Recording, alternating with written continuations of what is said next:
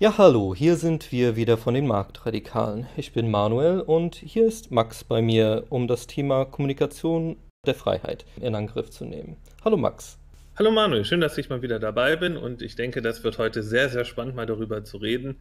Wie können Freiheitsfreunde, wie können Kapitalisten ihre Ideen an den Mann bringen? Denn das ist natürlich die ganz große Hürde, vor der wir immer stehen in einem Land, was uns jetzt nicht so wohlgesonnen ist.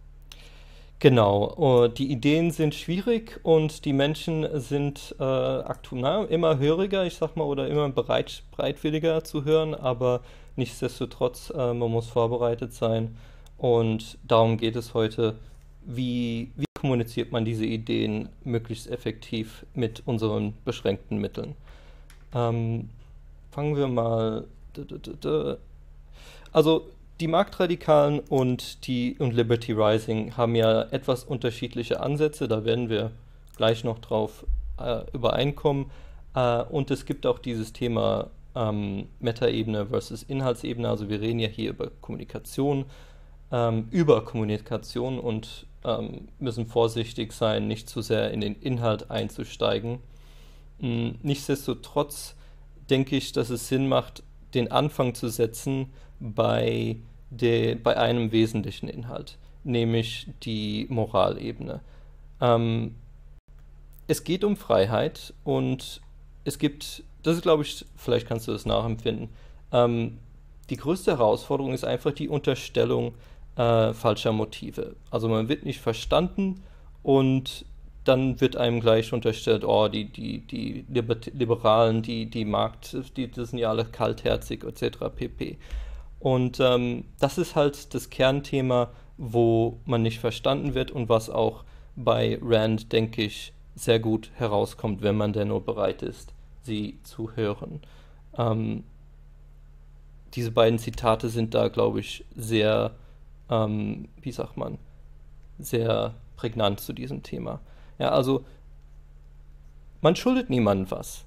So sehe ich das jedenfalls. Also jeder ist gleich geboren, jeder ist frei, und diese, was aktuell, also ich betrachte dieses Ding mit ähm, die Umwelt, na, die Welt ist, die Umwelt ist halt, mh, hm, die, die, man, man ist alleine durch sein Dasein, äh, ist man irgendwie schädlich, ja, und am besten sollten nur 10% der Menschheit noch am Überleben sein. Ähm, nein, das ist nicht so. Jeder Mensch ist, jeder Mensch hat einen intrinsischen wert. Ja, auch wenn ich diesen Begriff problematisch finde. Ja. Aber ähm, ja, jeder Mensch ist an und für sich, äh, du, du bist was wert. Du kannst was schaffen. Du, dein Wille ist zu respektieren. Ich forme die Welt nach meinen Willen. Und äh, du bist nicht da, um anderen zu dienen. Ja, diese, dieses, das ist dieses Thema bei Ayn Rand, was ich immer sehr geschätzt habe. Ja, danke. Ich, ich natürlich auch. Ich finde, sie hat es immer wunderschön mit dem Satz auf den Punkt gebracht, es gibt nur ein Recht, das Recht eines Menschen auf sein eigenes Leben.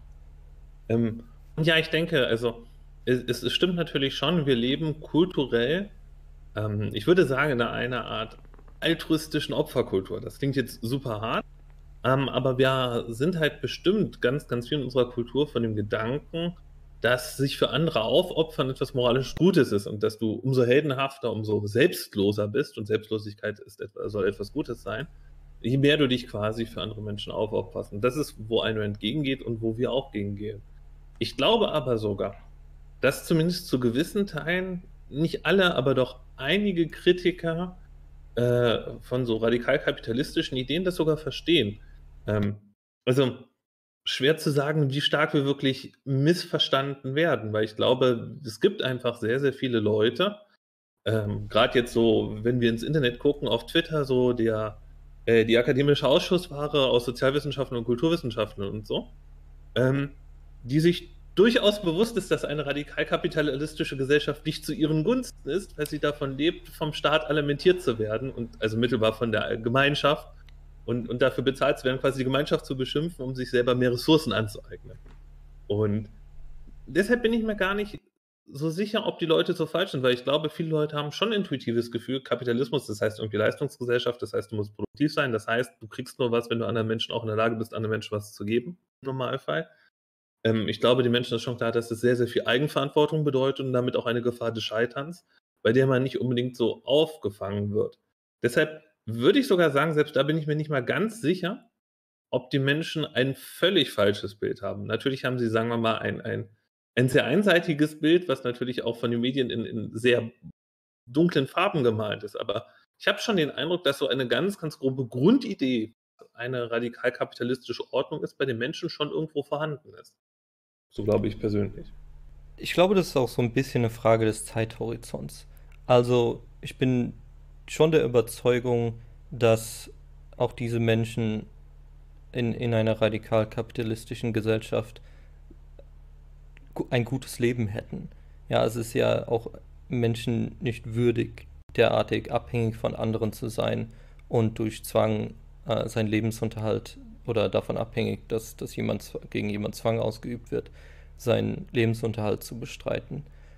Und das ist aber halt, na, so eine Frage des Zeithorizonts. Kurzfristig wäre das auf alle Fälle problematisch für die, weil natürlich ihre Lebensgrundlage, die müssen sich halt dann umorientieren.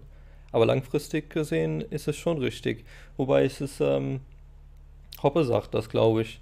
Er sagt, ähm, die Intellektuellen sind sich durchaus bewusst, dass die Nachfrage für ihre Dienstleistungen ohne den Staat nicht unbedingt sonderlich ausge... Also die sind nicht so groß.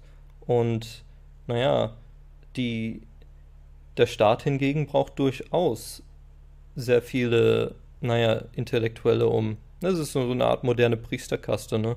Vielleicht ist es auch die moderne Priesterkaste, nur ist Religion halt ein bisschen weniger ähm, in der Zeit, äh, in, in der Mode. Deswegen wird es halt anders aufge, aufge wie sagt man, ähm, präsentiert. Aufge genau, aber, aber im Prinzip ja. Hm, ne, also ich glaube schon, dass die auch, die müssen halt was anderes machen, ne? Oder, oder, oder sich, das ist, ich glaube, da ist so ein bisschen das Ding dabei, die müssten sich halt an den, für die Interessen, mit den Interessen der Allgemeinheit auseinandersetzen. Die müssten sich als Marktteilnehmer äh, betätigen. Und das ist halt, okay, andere Personen, ihre Interessen auf dem Markt, die sind halt zu beachten, wenn du irgendwo von denen Geld haben willst. Ja, oder von denen irgendwie wertgeschätzt werden willst.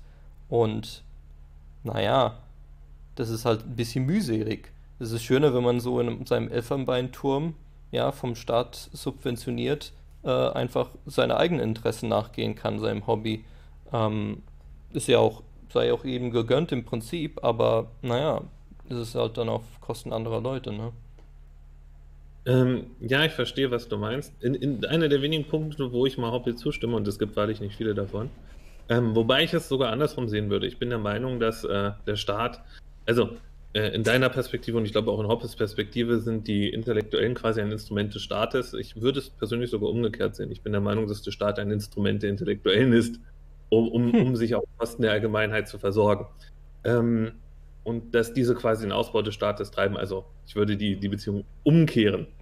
Ähm, das schon, aber ich glaube halt wirklich nicht. Also natürlich, viele von denen würden schon irgendwie klarkommen. Wenn die alle ihre Jobs verlieren und nicht mehr bezahlt werden, werden Menschen sehr erfinderisch und sehr produktiv wenn es darum geht, dass, sie, äh, dass die Ersparnisse schwinden und der Kühlschrank leerer wird. Keine Frage.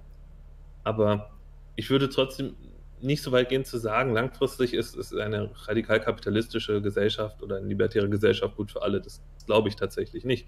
Ich glaube, es ist gut für viele und ich glaube, sie ist um ein Vielfaches moralischer. Denn da stimme ich dir absolut zu. Ich halte ein Leben quasi als, ein Rand würde sagen, Luther, Plünderer, äh, der von der Arbeitsleistung der anderen lebt, ohne ihnen was zurückzugeben, tatsächlich für genuin unmoralisch. Und ich glaube auch, dass die Menschen auf Dauer tatsächlich tiefgreifend unglücklich machen. Trotzdem glaube ich, dass ähm, ich bin schon der Meinung, dass sehr viele Menschen sehr große Probleme hätten, sich da anzupassen und dass sehr, sehr viele, die heute in den Universitäten lange Reden schwingen, ähm, irgendwo äh, den Rest ihres Lebens damit verbringen werden, Kacke aus einem Klo zu kratzen. Für andere Leute. Aber gut. Gut, aber ja, okay. Ähm, das, dann steigen wir mal wieder auf die Metaebene hoch, da weg von der Inhaltsebene. Ähm, und also wir kommen auch durchaus, glaube ich, nochmal zu, weiter zu diesem Dissens. Insofern äh, wollen wir noch nicht zu viel vorgreifen. Ähm, gehen wir mal weiter zu den Stilmitteln. Also was auf bei der Kommunikation stellt man durchaus fest, das, was viral geht oder das, was gut ankommt, ist erstmal äh, die stumpfe Sache. Das stumpfeste, was du dir ausdenken kannst. Und das ist dann natürlich auch der Slogan von den Marktradikalen. Steuern sind Raub. Und das ist korrekt, das können wir verteidigen, sind wir auch bereit, äh, weit, weit, ich weiß gar nicht, ich glaube, das teilt ihr auch in dem Fall sogar, wenn ich das richtig verstehe, unter Liberty Rising. Also Jan, das, ich, ich würde absolut zustimmen, dass leichte Verständlichkeit unglaublich wichtig ist. Ich glaube, hier ist sogar noch ein zweiter Faktor mit drin. Ähm, und zwar, das funktioniert tatsächlich besser, das wissen wir aus unserer eigenen Auswertung, auch wenn wir es nicht machen. Ähm, was die Marktradikalen, glaube ich, da in der Hinsicht fast sogar, was heißt besser oder es gibt ihnen zumindest mehr Reichweite, weil sie haben ein anderes strategisches Ziel, ähm, ist die Frage, ähm, wirbt man primär mit Pro- oder Anti-Botschaften. Also Liberty Rising ist in letzter Zeit sehr, sehr stark zu Pro-Botschaften irgendwie äh, übergegangen, die bewusst positiv sind. Steuern sind Raub ist eine reine Anti-Botschaft, aber reine Anti-Botschaften sind reichweitenmäßig, das muss man ganz klar so sagen, viel effektiver, mhm. weil logischerweise ähm, die Grünen sind doof vereint viel, viel mehr politische Lager als ähm, die Grünen sind doof und stattdessen sollten wir Gentechnik machen. Da sind dann schon wieder die Konservativen und AfD-Anhänger und so und, und die ESOs schon wieder raus. Also ja, ja, ja also ich glaube, stumpf ist sehr effektiv. Wir bemühen uns auch zumindest wenigstens eindeutig zu sein, vielleicht nicht ganz so stumpf, aber sehr eindeutig. Aber was ich halt auch glaube, Negativ-Messaging ist, äh, zumindest was Reichweite betrifft, sehr, sehr effektiv. Genau, genau. Also ich, ich finde, das ist, äh, kommen wir auch gleich noch, hm, okay. Ähm, bleiben wir erstmal bei diesem Thema, wo du gesagt hast, ähm, ich glaube, wie hast du es nochmal ausgedrückt, nicht missverständlich. Also ich finde es schon wichtig, dass man nicht irgendwas raushaut, was rein provoziert. Es sollte schon immer inhaltlich korrekt sein. Ja, also man sollte keine Position heraushauen, die man nicht so vertreten kann. Aber es ist halt einfach unvermeidlich, dass man missverstanden wird. Und damit muss man sich auch ein Stück weit, glaube ich, abfinden. Ähm, ja, so Thema Waffen, äh, selbst frei, dass jeder Waffen tragen soll das ist halt, da muss man zweistündige, dreistündige Diskussion führen, bevor jemand wirklich nachvollziehen kann, was die Gründe sind, warum die Position tatsächlich vertreten wird oder vertretbar so, sogar ist. Aber ja gut, aber es ist, taugt halt erstmal zur Provokation. Kein, kein, kein, Widerspruch, kein Widerspruch dazu. Also äh, eindeutig ist es unverstanden, dass du. Also wir arbeiten bei Liberty Rising sehr hart daran, nicht allzu sehr missverständlich zu sein, aber äh, natürlich, wir, wir verkaufen beide, wenn auch leicht unterschiedlich, Konzepte, die für die absolute Mehrheit der Bevölkerung völlig neu und unverständlich und ungewohnt sind. Und natürlich gibt es erstmal tausend falsche Anordnungen. Also, absolut. Das, das lässt sich tatsächlich nicht vermeiden. Genau, und äh, hier ist, glaube ich, äh, nochmal auf dein Thema positive Botschaften ähm, vermitteln, also nicht nur rein negativ und das ist ja auch tatsächlich etwas, was, glaube ich, ganz gut in aktuell ankommt. Also Elon Musk ist jetzt, äh, ja, also ich glaube, er verkörpert durchaus als Person ähm, durchaus das Gute, das Beste auch äh, an Ingenieur, an Unternehmer. Es ist halt einfach der Zeit geschuldet, dass man ihn nicht als, ja, pure, ähm, ist auch kein Libertärer, der irgendwie nach Prinzipien unbedingt immer handelt, aber gegeben den Umständen handelt er, ähm, glaube ich, schon am besten ähm, als Unternehmer oder so gut er es halt kann. Ähm, und das ist durchaus, ähm, ja, das, das, kann man, das kann man bewundern und äh, empfehlen nachzuahmen. Ja, das ist eine Strategie, die wir grundsätzlich fahren bei Liberty Rising in letzter Zeit auch verstärkter, dass wir versuchen, positives, ideales, heldenhaftes, ähm, romantisches im, im, ursprünglichen Sinne, also im Sinne von, man zeigt möglichst die Schönheit und das Beste, was möglich ist, ähm, rüberzubringen. Und wie ich schon gesagt habe, das Problem ist, es ist tatsächlich ein bisschen schwieriger, damit Reichweite zu machen. Also, so, so wie gesagt, Pöbeln ist, ist leichter. Ähm, aber wir machen das auch, weil wir der Meinung sind, unser Ziel ist es ja, gute Leute zu kriegen. Ähm, also unser Ziel ist ja sozusagen weniger erstmal direkt in der Masse zu verbreiten, sondern quasi einen Stamm an, an wirklich geschulten, motivierten Aktivisten zu haben. Und wir haben den Eindruck, dass diese Art von Messaging, also äh, Kommunikation, dazu führt, dass man die weniger dummerigen Leute kriegt, die weniger die ganze Tag in so eine negative Untergangsstimmung sind. Und wir haben einfach festgestellt, Leute, die die ganze Zeit in negativer Untergangsstimmung sind, machen nichts Produktives, sondern sitzen rum und jammern. Und das wollen wir nicht haben. Dementsprechend Das ist der Grund, warum wir diese Kommunikationsstrategie haben, selbst wenn sie reichweitenmäßig tatsächlich eher etwas schlechter ist. Aber wir sind der Meinung, das bringt die besseren Leute. Und das, das ist, ist interessant. Da können wir kurz ein, ein bisschen bei bleiben. Ähm, das Ding ist halt, okay, für, für, für Liberty Rising als Organisation ähm, oder als Bewegung von mir aus, ist das, äh, da, das kann schon die, das richtige Ziel sein. Das Thema, okay, gehen wir mal ein kurzes Stück weiter zum, zum Thema Aushängeschild. Also diese ganze Provokation ist aus meiner Sicht äh, ein Aushängeschild.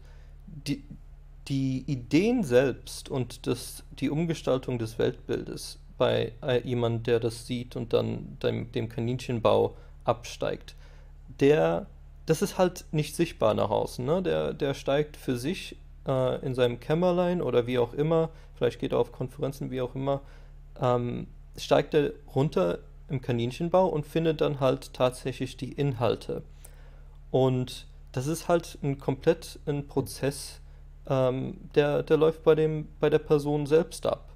Ja, der, der steigt halt den Kaninchenbau runter, liest sich die äh, Bücher durch, liest sich die Inhalte durch, schaut sich die Konferenzaufnahmen an, geht in Discord und stellt Fragen etc. Das ist halt, mh, hm, ja, das ist, äh, das ist, glaube ich, das Ziel für, naja, für, für mich, für die Marktradikalen, vielleicht kann, man, kann ich da auch für die Marktradikalen allgemein sprechen, ist das das Ziel, ähm, dass, dass man halt eben auf die tatsächlichen Inhalte verweist und auf die, die, das ideologische Fundament und dann halt tatsächlich Leute überzeugt. Ja, also Leute dazu bewegt, anders zu denken, als äh, den Staat äh, als Lösung aller ihre Probleme zu betrachten. Und das ist, ähm, ja, also die, am Ende wird sich die Bewegung ja dann auflösen. Das ist dann einfach, keine Ahnung, heutzutage ist ja auch keiner, der großartig sich damit beschäftigt, dass Sklaverei nicht mehr, äh, dass Sklaverei unmoralisch ist. Das ist, wird, wird halt einfach, okay, das ist, im, das ist akzeptiert allgemein, äh, reden wir über andere Dinge, nicht wahr? Also insofern, ähm, eine Bewegung aufzubauen, ist jetzt aus, zumindest nicht mein Ziel, ähm, so als Selbstzweck auf alle Fälle sondern eben diese Ideen zu verbreiten und äh, wenn, wenn das halt wenn es halt als Bewegung, na, ich muss da keine Organisation unbedingt drum herum bauen, sage ich, will ich nur damit sagen. Ähm, vielleicht kann ich da direkt was zu sagen, weil, weil hier sozusagen, glaube ich, die strategischen Unterschiede ganz deutlich hervorkommen, gerade auch bei diesem Punkt. Ähm, das eine ist, ähm, wir glauben nicht, dass ähm, man den Staat klein macht und dann löst man sich auf und alles ist gut weil ich der Meinung bin und der Überzeugung, dass dann die Tyrannei wiederkommt. Gut, wir sind jetzt eh Minimalstaatler. Ähm, aber ähm, dass die Tyrannei wiederkommt. Äh, die Freiheit zu halten ist ein dauerhafter Prozess und der erfordert ununterbrochene und dauerhafte Mobilisierung. Und diese Mobilisierung ist umso effektiver, je besser deine Strukturen sind. Und eine bessere Organisation, die äh, geschlossener ist, die, ähm, ähm sagen wir mal, zielgerichteter arbeitet, hat auch einfach enorme Vorteile gegenüber so einem dezentralen Netzwerk. Das aus meiner Sicht sehen wir schon daran. Nehmen wir zum Beispiel die AfD. Die AfD hatte ursprünglich diesen Wirtschaftsliberalismus, so, mhm. sehr deutlich, das war das große Ding.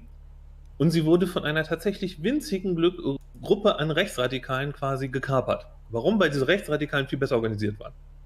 Und deshalb ist meine feste Überzeugung, hoher Organisationsgrad schlägt immer dezentrale und alle miteinander und Netzwerke.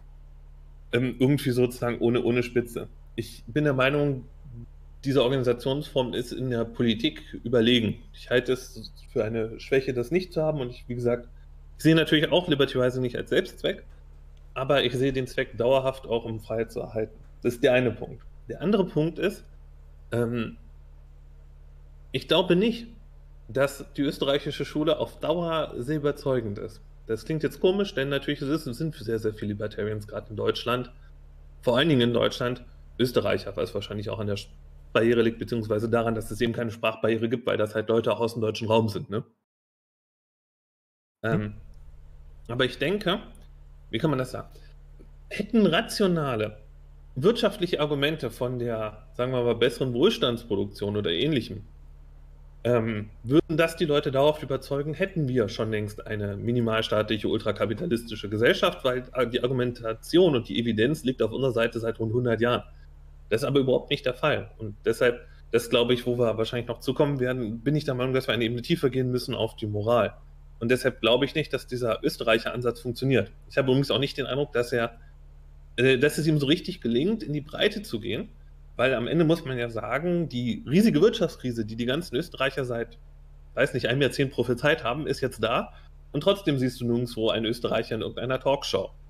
Und ich glaube, das liegt halt auch daran, dass die in der Hinsicht halt auch da eigentlich nicht gut funktionieren, sondern dass die dazu neigen, in so einer Bubble zu sitzen, wo dann sozusagen der Teil, der von der Politik und Wirtschaftsphilosophie nicht abgedeckt wird, gefüllt wird mit irgendeinem Konservatismus und dass du dann so eine riesige Ansammlung an alten Luma-Menschen hast, die zusammensitzen und gegenseitig darüber jammern, wie scheiße die Welt geworden ist. Ich, ich glaube leider, das ist das Ergebnis der österreichischen Schule, als sozusagen zentrale Strategie und von diesem, dieser Wirtschaftsvermittlungsstrategie. So scheint es mir zumindest, weil wenn ich mir das Mises-Institut ansehe oder die Atlas-Initiative oder die Eigentümlich Frei, würde ich schon sagen, dass die alle in so eine Richtung gehen von Versammlungen älterer, grantelnder Herren.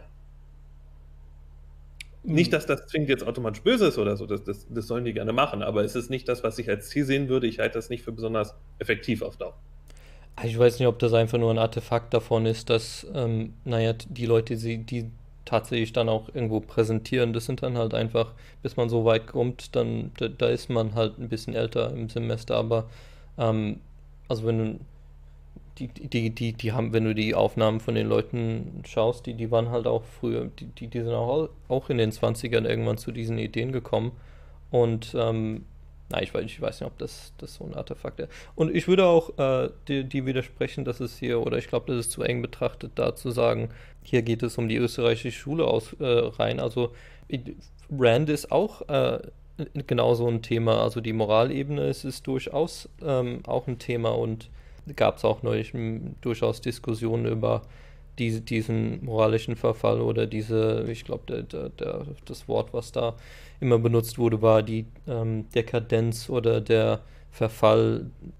Na, okay, es, es wird eventuell irgendwann in, in die, die Allgemeinheit, in deren Ideen unter, äh, übergehen. Ähm, da kann man auseinandergehen. Aber der Punkt, äh, wo ich, den ich gerne nochmal weitermachen würde, wäre das Thema in den Medien-Talkshows, ähm, dass das nicht ankommt. Da ist, glaube ich, ein ganz großes Thema die Institutionen. Na, also die bestehenden Institutionen und die Problematik, die, die man da ausgesetzt ist. Ich weiß nicht, ob wir, es gibt da zwei Ansätze, die wir fahren können. Entweder wir können die bestehenden Institutionen ansetzen, da, da zum Thema machen, oder die geänderte Medienlandschaft. Die, also die Umstände sind nicht so wie früher. Das ist, glaube ich, ähm, ja, fangen wir mal da an. Moment, ich gehe mal zum Bild. So. Also ich denke, die, die, es ist halt nicht so wie früher. Na, also die Frage ist, ob diese Talkshow tatsächlich welche Relevanz sie hat. Na, sie, es wird auf alle Fälle noch von vielen Leuten geschaut, aber die Welt ist ja im Wandel, ja, und es ist nicht so, als ob die zentralen Medien das einzig Relevante wäre noch. Es gibt eben diese Kaninchenbaus, die online sind, die ich ja auch vor zehn Jahren runtergefallen sind. Ich weiß nicht, wie dein Weg war, zu diesen Ideen zu kommen aber ich behaupte jetzt einfach mal, du bist nicht zu diesen Ideen gekommen aufgrund von irgendwelchen Talkshow-Gästen. Ähm, würde ich das einfach mal behaupten. Und nee, ich bin tatsächlich über die Uni zu diesen Ideen gekommen, witzigerweise, weil es ein Lehrbuch waren. Die waren in im Lehrbuch. Interessant. Mhm. Weiter Schäfer, politische Modelle der Gegenwart in 15 Modellen. Mhm. Na, ich bleibe trotzdem bei, mein, äh, bei, meiner Behauptung, weil das war ja nur äh, der Ansatzpunkt, oder? Ich meine, ja, das ja. ist ja nicht so, als ob die auf der, an der Uni diese Sachen ähm, lehren würden. Das war ja nur so ein, ja, ich sag mal, ein Anstoß. Na? Ja, ich habe da eine Hausarbeit drüber geschrieben und die Bücher, die waren aber, also das, das, Buch war in der Hinsicht gut, weil das hat tatsächlich mal so die, so die, die Basics unter anderem von Rothbard, Mises und Teig dargelegt. Das ist ein Glück, das hast du nicht unbedingt immer. Aber ich fand das damals sehr spannend, aber ich glaube, das geht zu weit, weil ähm, ich verstehe durchaus, was du meinst.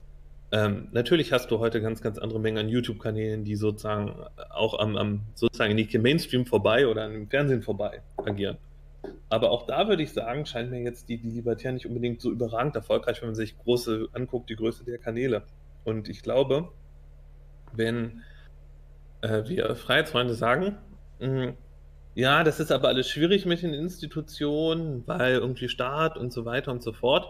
Dann muss man sagen, halte ich das eigentlich für eine Schutzbehauptung dafür, dass man sich selber beschissen angestellt hat in der Vergangenheit. Weil als die 68er zum Beispiel kamen, die hatten auch keine Medien. Also vergisst man heute gern, kommt einem immer nicht so vor, aber die waren Mainstream völlig verhasst, die Grünen auch. Als die Grünen kamen, wie gesagt, die waren völlig verhasst, die hatten keine mediale Repräsentation, keine gute, nichts. Und was haben die gemacht? Die haben systematisch eine Gegenöffentlichkeit aufgebaut und ich würde behaupten, deutlich effektiver. Natürlich gibt es das heute bei, bei Freiheitlichen auch hier und da, aber faktisch würde ich sagen, waren im Punkt Gegenöffentlichkeit aufbauen, gegen Intellektuelle auch aufbauen, die sozusagen alternative Bücher, Narrative und so weiter machen, waren die aus meiner Sicht, würde ich behaupten, effektiver. Allein schon, weil die mehr abgedeckt haben.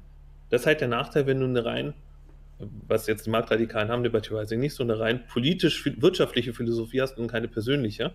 Du hast auch viel, viel weniger Bereiche, zu denen du dich äußern kannst. Häkchen.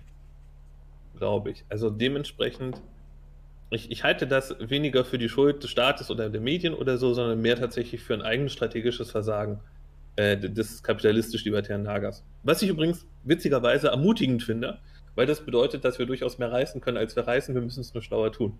Ich ziehe daraus sehr viel Hoffnung. Durchaus. Also ich, ich behaupte, also das ist auch, nein, man hat nur so und so viel Zeit im Tag. Wir sind ja alle tatsächlich gehend. Mir ist nicht bekannt, dass es so viele Leute gäbe, die ihren äh, Lebensunterhalt bestreiten. Es gibt da im Bitcoin-Bubble, gibt es so Menschen wie Blocktrainer, die tatsächlich scheinbar sich das zur Karriere bisher machen konnten. Aber ansonsten ist es ja alles eher auf Ebene der Freizeit. Und ähm, da ist dann halt schon die Frage so, äh, was kann man mit den beschränkten Mitteln, die man hat, auch anfangen. Ich denke auch, die, die, die Sache mit den Institutionen, dass der Staat uns äh, alles immer schwierig macht, das ist gar nicht so sehr gemeint. Das ist äh, tatsächlich eher so eine Sache von, ähm, es ist ein Club. Also da ist viel Psychologie dabei. Wenn man in eine Talkshow eingeladen wird, da ist es ja nicht so, dass man als gleichberechtigter Gast irgendwo eingeladen wird und dass man da, ähm, dass man da zu Wort kommt, genauso wie jeder andere, sondern man ist nicht im Club und ähm, da so, man kommt nur in den Club, wenn man äh, tatsächlich auch die die Meinung des Clubs äh, auch vertritt, also, Zeit, also den Zeitgeist halt mitmacht. Ja, also das, und das, das finde ich jetzt beispielhaft, äh, war halt, okay, in dem Club gab es halt bisher diese Medienschaffenden, die öffentlich-rechtlich finanzierten Leute, die halt im Rahmen der Pandemie ähm, ja durchaus äh, äh, gelitten haben und äh, also ihre wirtschaftlichen Interessen benachteiligt wurden. Und, ähm, oder was heißt man Ich meine, die leben ja von, von geraubtem Geld, also ein Großteil davon. Insofern ist da der Mitleid zumindest bei mir ein bisschen beschränkt, aber hm, naja, wenn sie halt dann Protest machen, ja, oder irgendwelche Bedenken äußern und dann auch durchaus mit äh, erstens Humor und dann im zweiten ähm, auch den Dialog antreten, ähm, also den Diskurs versuchen zu machen, der, den sie anderswo nicht gesehen haben, unter der Dominanz von der, äh, wie heißt es, der, der, naja, das Narrativ, was halt gepusht wird, das, was halt äh, politisch korrekt ist. Als sie da dagegen getreten haben, naja, da haben sie halt, äh, naja, die müssen halt mit der Ausgrenzung jetzt aus dem Club leben. Und ähm, das ist, glaube ich, eher das Problem. Also der Zeitgeist ist halt auch nicht nur einfach nur so eine Staatsding, sondern es ist, das ist schon so eine psychologische, so eine, und gerade auch in den letzten zwei Jahren so eine massenpsychologische Sache. Das ist, glaube ich, eher das Problem. Also ich würde sagen, massenpsychologisch war es schon immer, aber ich, ich glaube auch, ähm, zum einen muss man dann sagen, sie sind ja trotz allem relativ präsent in den Medien gewesen. Und wenn wir jetzt zum Beispiel gerade den, äh, den russischen Angriff auf die Ukraine ansehen, ist es jetzt auch nicht so, dass äh, in den Medien jetzt niemand pro, äh, pro äh, Putin sozusagen oder mit Putin-Apologetik zur Sprache kommt. Und ich glaube auch noch die andere Ebene ist, ja gut, natürlich mag es diese Clubs geben, aber die Frage ist natürlich, warum haben wir keinen eigenen Club? Was, was haben wir in der Vergangenheit verkackt? Und jetzt nicht nur wir, die wir heute leben, sondern auch Generationen von gerade normalen Liberalen, klassisch Liberalen, die es ja seit Ewigkeiten gibt. Was haben die verkackt? Dass die alle keine eigenen Clubs haben.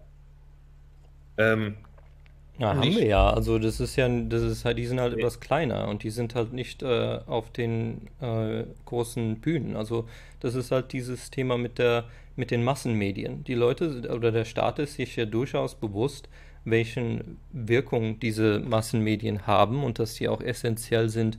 Es ist essentiell dafür, dass, dass äh, das Regime fortbestehen kann, dass auch äh, die Masse an Leute, die überzeugt, also ja, mitmacht. Also zumindest oder zumindest sich äh, nicht denkt, dass, ähm, dass also das Ideal ist, dass er, jeder sich vorkommt, als wäre er alleine mit seiner, ähm, mit seiner abweichenden Meinung.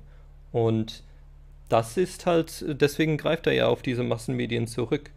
Und wenn, dann ist dann halt auch nur beschränkt, wird zugelassen, was, äh, was alternative Meinung, also es wird auch äh, tendenziell und oder es ist eine starke Tendenz, dass man, auch wenn, wenn Leute zu zur Rede kommen, dass es immer so geframed ist, ja, der am, Ende, äh, am Anfang, am Ende, der ist der Böse und seine Meinung am Ende, das ist die richtige Meinung. Also es wird ja schon auch die Meinung, die korrekt ist, äh, das ist ja immer Teil der Botschaft, das wird ja mittransportiert. Also nur zu Wort kommen. Es ist ja, das ist immer die, so dieses Frage, eines der Hauptproblematik, die ich sehe. Die Unterstellung falscher Motive. Also ich versuche, wir versuchen ja alle, glaube ich, die, die Welt so gut zu verstehen, wie wir es nur irgendwie können. Und kommen dann zu einer Meinung, und, und ich glaube, die allerwenigsten sind so drauf, dass sie wirklich schlechte Motive verfolgen. Und es ist aber trotzdem so, dass man, wenn man in so einer Talkshow auf, auftreten würde, dass man sich mit lauter Vorwürfen konfrontiert sieht, die unter den, bei denen die Unterstellung mitschwingt, dass man eben egoistische, also rein, also vor allen Dingen auch auf Kosten anderer ähm, Motive verfolgt, die auf Kosten anderer kommen würden. Aber das ist nicht so, sondern ja, man, man ich, ich, bin ehrlich der Meinung, wir sind alle ehrlich der Meinung, dass diese Ideen, die wir vertreten, de, zu einer besseren Welt führen würden. Aber so wird es ja nicht zugelassen, dass es äh, so auf äh, es wird nicht als Meinungsverschiedenheit akzeptiert, oh, sondern das, das, Framing ist immer so, dass der Zuschauer mitbekommt, mh, hm, das ist die richtige Meinung und der ist der Böse. Ich, ich würde dir witzigerweise auf mehreren Ebenen nicht zustimmen. Zum einen, weil ich finde, ähm, dass du den Staat sehr als Akteur siehst, weil du sagst, der Staat ist sich bewusst. Ich glaube, der Staat ist sich gar nichts bewusst. Das sind einfach nur irgendwelche Menschen und die wollen wiedergewählt werden. Ja, das ist ja, ja so, das ist, ich meine, das ist so, wie man sagt, dass in der Evolutionstheorie, dass der, der, der Vogel will, äh, die, die, die Entwicklung des Vogels ist so und so, der Schnabel, äh, der will an die äh, Pflanze kommen und deswegen wächst der Schnabel so. Das ist ja eher so, mir ist schon bewusst, dass das alles so ja, ich sag mal, da sind Selektionseffekte und da ist so eine Dynamik, das ist, da, nein, ich verstehe schon, was da. Ich meine, ich, ich, ich, glaube, ich glaube aber, dass das sozusagen auf, auf, ähm, auf ein falsches Gleis wird, auch weil du sagst, wird nur zugelassen oder so. Ähm, warum wird das so gefilmt? Warum ist das so? Ganz einfach, weil einfach die andere Seite in der Vermittlung ihrer Philosophie viel besser war in der Vergangenheit als wir. Weil die ganzen Journalisten, die ganzen, aber fast alle Journalisten, der überwältigende Mehrteil irgendwie diffus links-grün denkt. Ähm, aber das ist, wie gesagt, eine Sache, hm, das können wir der anderen Seite nicht zum Vorwurf machen, aber die andere Seite einfach besser und kompetenter als wir. Und nee, nee, ich, ich glaube das nicht. Also kommen wir gleich nochmal zu den Denkmustern, aber ja, okay. Ähm, ähm, okay, von mir aus können wir sagen, die wir erstmal, die, die waren ja, So würde ich es sehen. Und ich glaube, das liegt halt zum Beispiel daran, ich meine, wir müssen bedenken, die, die Linken und die Sozen haben es geschafft, ihre Bewegung irgendwie am Leben zu halten für irgendwie 100 Jahre oder mehr. Ja, wenn man sich anguckt, wann SPD gegründet und so ein Kram oder Vorgängerorganisation. Ich habe nicht den Eindruck, dass das den Liberalen so gut gelungen ist. Und ich glaube auch, das liegt daran, dass die Liberalen ähm, sich viel zu sehr in ihren Elfenbeinturm zurückgezogen haben für deine Kritik und, und angefangen haben, unglaubliche Massen an kotzöden Wirtschaftstexten zu schreiben. Und ich glaube auch, dass das immer noch das große Ding ist, massenhaft kotzlangweilige Wirtschaftstexte zu schreiben. Die Linken hatten nicht kotzlangweilige Wirtschaftstexte, die Linken hatten äh, haben sich irgendeinen völlig aus dem Kontext Mausspruch gegriffen mit Kampf den Papiertigern und sich dazu nackt abgebildet für die sexuelle Freiheit. Das war äh, geistig eine mittelprächtige Perversion, weil Mao zur gleichen Zeit alle sexuelle Freizügigkeit in China hat umbringen lassen. Ähm, aber von der Wirkung her hatte das eine viel praktischere, sinnliche, wahrnehmbarere Komponente, als wenn irgendein so Typ, sagen wir mal bei der High-Gesellschaft oder was auch immer, rumsitzt und das 300. Paper schreibt, wie man jetzt irgendwas privater oder weniger staatlich regeln kann. Und deshalb wie gesagt, glaube ich halt wirklich, wir haben, oder die Liberalen haben ihre Bewegungen durch und durch nicht sexy gemacht. Und alles, was wir jetzt noch haben, sind einfach die Früchte davon, dass wir in der Vergangenheit, oder nicht wir, wir persönlich natürlich nicht, aber die pro-kapitalistische, pro-Marktwirtschaft, liberale Bewegung in der Vergangenheit, in den letzten 50 Jahren, unglaublich viel Scheiße gebaut hat. Und, und ich, ich glaube zu sagen, ja, der Staat und so weiter, das wie gesagt halte ich für, äh, für unberechtigt, weil in den USA zum Beispiel, guck dir große Medien an, da hast du Fox. Das ist offensichtlich sehr anders als das, was wir haben, zum Beispiel. Jetzt nicht, dass wir genau Fox brauchen, aber ganz offenkundig muss das nicht so sein, sondern ist es halt entstanden, weil eine bestimmte Philosophie vorherrscht. So glaube ich zumindest. Na gut, ich, äh, wir gehen da auseinander und äh, ich glaube, ich gehe, gehe ich mal darauf ein, auf das Thema. Es ist, glaube ich, äh, nämlich tatsächlich auch ein psychologisches Ding bei Menschen, im, die, die ja Menschen selbst liegt. Ähm, wenn du sagst, dass äh, die Leute, okay, mit nackten Bildern und wie auch immer und wirklich mit akademischen Elfenbeinturm und so unterwegs sind, das hat äh, damit zu tun, dass die einen sich für Wahrheit interessieren und ich glaube, die anderen sind tendenziell einfach, äh, gehen einem Trieb nach. Ja, also tendenziell. Die, sind, die, die wissen schon, was richtig ist. Die, die haben aus ihrer Intuition schon herausgefunden, was ist korrekt. Und ähm, das ist, glaube ich, getrieben. Der, der, Mensch ist nämlich kein Tabula rasa, sondern der Mensch äh, hat durchaus gewisse Vorprägungen aus der Natur heraus, die ähm, evolutionspsychologisch bedingt sind. Ja, also was hat in einer Gemeinschaft von 150 Leuten maximal ähm, also diese berühmte Dunbar-Zahl. Was hat in der Situation am, äh, war, war geeignet, um zu überleben und sich fortzupflanzen? Das ist, glaube ich, der Teil, der hier vor allen Dingen dazu, also die, die, die jemand, der einen Wirtschaftstext schreibt, der, der versucht halt wirklich mühselig nachzuvollziehen, wie die Welt funktioniert. Und das ist, ja okay, das wird ein bisschen schnöde, sage ich mal, und ich bin äh, bemühe, be, sehe da durchaus ein, dass man da äh, mehr machen kann, um äh, das besser zu vermitteln. Ähm, aber nichtsdestotrotz ist es schon diese Dynamik da. Das eine ist eben diese Betrachtung von oben. Also wir, wir kommen jetzt so ein bisschen in, ähm, wie, wie, wie betrachtet man die Welt? Also das eine ist, man hat eine Prägung und das führt dazu zum Beispiel, dass man Sachen tendenziell von oben herab betrachtet. Ja, also diese Sachen, die von, diese Dynamik, die von unten herauf entstehen, die sind nicht so leicht zu erkennen.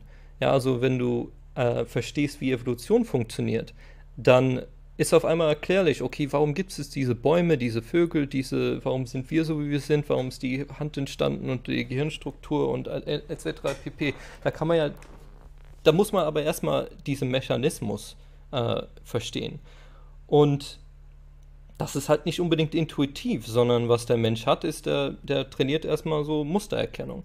Na? Und der, der, der schaut von oben herab und äh, der, der sagt, okay, es gibt diese Gesellschaft, ja, oder diese Gemeinschaft und äh, ich, dann, dann kommt das nächste Ding, okay, von, von, wo, von welcher Richtung aus geht man ins, das, äh, die Zielsetzung an oder die Verfolgung der Ziele an.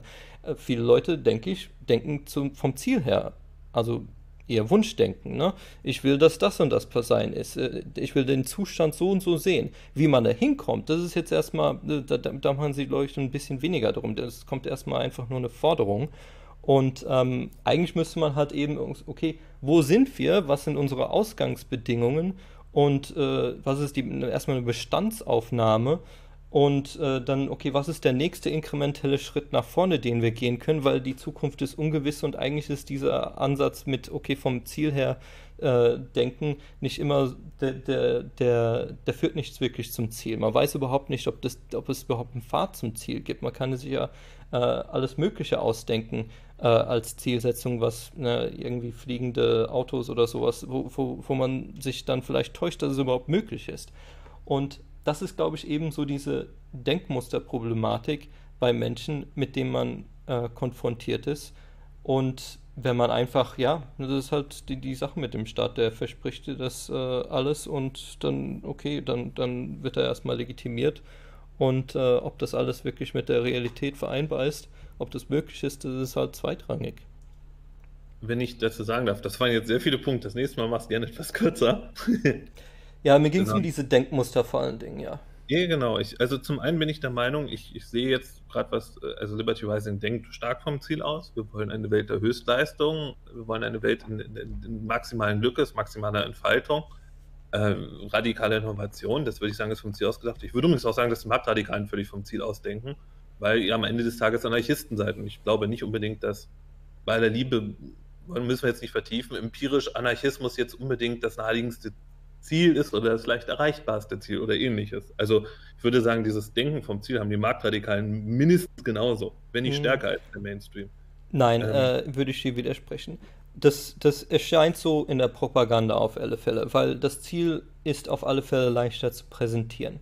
Aber meine Erkenntnis oder meine Erfahrung ist, dass die Leute, es gibt irgendwann die Einsicht, ja, irgendwo hat man Neugier gehabt, zum Beispiel durch eine Wirtschaftskrise oder sowas, wo man anfängt, sich tatsächlich mit den Inhalten zu beschäftigen, mit, die, mit den Ideen. Und dann macht das halt irgendwann Klick. Man, man mer merkt, okay, das, das macht Sinn, das, das erklärt vieles und, und dann findet so eine Ableitung statt, so eine Deduktion. Das ist der deduktive Ansatz. Und dann fällt dann halt auf einmal wie Schuppen von den Augen, okay, Steuern sind Raub. Das ist eine das ist nicht ein Ziel. Da, da, wir, sind nicht, das, das, wir sind nicht vom Ziel ausgegangen, jeder soll sein Eigentum für sich behalten und nichts davon hergeben, sondern oder, wir sind von, das ist eine Konsequenz, das ist eine Schlussfolgerung. Ja, also das ist, äh, das mag, glaube ich, von außen so erscheinen, aber deswegen ist, bin ich auch, ähm, denke ich auch, dass es richtig war, auf diese Aushängeschild-Dynamik. Also es ist ein Aushängeschild und dann ist aber der Verweis auf die Denkschule. Ja, und äh, in dem Sinne ist es auch, ähm, ja, also Krieg sind natürlich sehr problematisch für, für Menschen, aber das sind halt Aufweckmomente. Und ähm, ja, also ich kam ja halt zu, zu, zu den Ideen im Rahmen der Wirtschaftskrise 2008 und so wird es auch, denke ich, und dann gibt es halt die ganze Bitcoin-Bubble, die halt durch die Öster zur österreichischen Schule gekommen ist, als sie gemerkt hat, okay, die, die bisherigen, äh, das passt hier überhaupt nicht in bisheriges äh, Erklärungsmodell von, die etabliert sind. Und deswegen ist halt das Interesse für die österreichische Schule in dem Bereich. Und so wird es auch, denke ich, wieder sein jetzt im Rahmen dieser Wirtschaftskrise. Wir werden da wieder so einen Aufschwung erleben, wo ähm, oder weiteres Wachstum leben für diese Ideen. Ja, das ist äh, ja okay. Also ähm, kurz, wir werden uns sicher nicht darüber einig werden, ob Anarchie Sinn macht. Das hatten wir auch schon. Ich glaube, wir können da guten Gewissens als Werbemaßnahme auch auf die letzte Woche verweisen. Ne? Mhm. Nicht letzte Woche, aber den letzten gemeinsam. Genau. Kannst du dann oben einbinden. Ähm, ich würde persönlich auch nach wie vor sagen, dass äh, Libertarismus vom Ziel aus denkt. Zumindest Rothbard schreibt nämlich selber, dass es sein Ziel war, eine Utopie zu bauen, wie die Linken sie haben. In Klammer auf, er sagt, sie ist realistisch erreichbarer, Klammer zu, als die von den Kommunisten, aber er sagt schon, dass es dann sein Marketingziel war.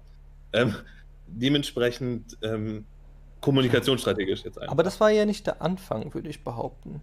Der war nee, ja, also, also der, wie findet man zu diesen Ideen? Das ist die Frage. Also, also ich glaube, Rothbard war Bauchgefühl, zumindest von dem, was ich gehört habe, aber können wir irgendwann mal vertiefen. Bauchgefühl, Anarchist, lange bevor er es komplett naturrechtlich, glaube ich, in, in der Konsequenz durchgebastelt hat. Aber ich wollte eigentlich noch mal auf was anderes raus, weil ich glaube, wir haben noch mal einen viel fundamentaleren Unterschied, der sich auch in der unterschiedlichen Kommunikationseinschätzung äh, auswirkt, bei sozusagen dem Wesen des Menschen. Weil ich nämlich nicht glaube, dass der Mensch so groß vorgeprägt ist. Ich glaube, der Mensch ist tatsächlich, was Moral und Philosophie betrifft, weitgehend tabula rasa. Und ich, ich möchte sagen, warum ich das glaube. Das liegt daran, ich habe auch unter anderem eine Kulturgeschichte studiert, unter anderem auch auf Schwerpunkt, zum Beispiel Sexualgeschichte und so. Fand ich einfach spannend. Ähm, und wenn man sich anguckt, was erwünschte Sexualität ist in der Geschichte, dann geht das so wild hin und her, dass ich wenig erkennen kann, dass das, ähm, wie kann man das sagen, dass das, äh, also ich finde, das lässt große Zweifel an der biologischen Prägung zu, weil wir würden jetzt sagen, es ist völlig natürlich, zum Beispiel Pädophilie scheiße zu finden. Ich nehme jetzt einfach nur das Beispiel, weil es besonders krass ist. Ne? Und, und zum Beispiel das antike Sparta, äh, da war das sozusagen Erziehungsideal, dass kleine Knaben Sex mit älteren Herren hatten. Das war die gesellschaftliche Norm. Das war quasi vorgeschrieben, das war erwünscht. Also ich meine nur, so extrem krass kann das rumschreiten. Im Mittelalter war die Vorstellung, dass Menschen gleich sind, essentiell gleich an Rechten, weil im Mittelalter eine absurde Vorstellung. Das konnten sich die Menschen nicht vorstellen. Die Menschen kannten nicht mal das Konzept Freiheit wie heute als abstraktes zusammenhängendes Konzept. Es gab nur einzelne Freiheiten, Privilegien.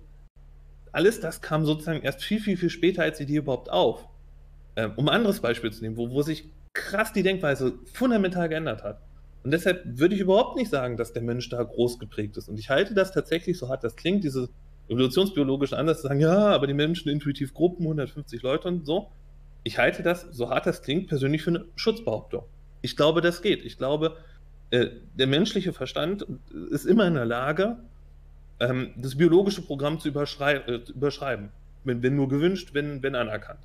In, alle, in jeder Hinsicht. Sonst könnten sich auch Menschen nicht systematisch zu Tode hungern, in symbolischen Akten oder selbst verbrennen oder irgendwas. Die menschliche Philosophie kann jedes biologische Programm überschreiben. Und ähm, dementsprechend glaube ich, das ist eine Sozialisationsfrage. Diese Werte sind eine Sozialisationsfrage und ich bin halt einfach der Meinung, dass wir auf dieser philosophischen Sozialisationsebene als, als freiheitliche Bewegung historisch versagt haben und die Früchte davon ernten, dass wir in der Vergangenheit dabei so schlecht abgeschnitten haben. Das ist, wie gesagt, meine persönliche Perspektive.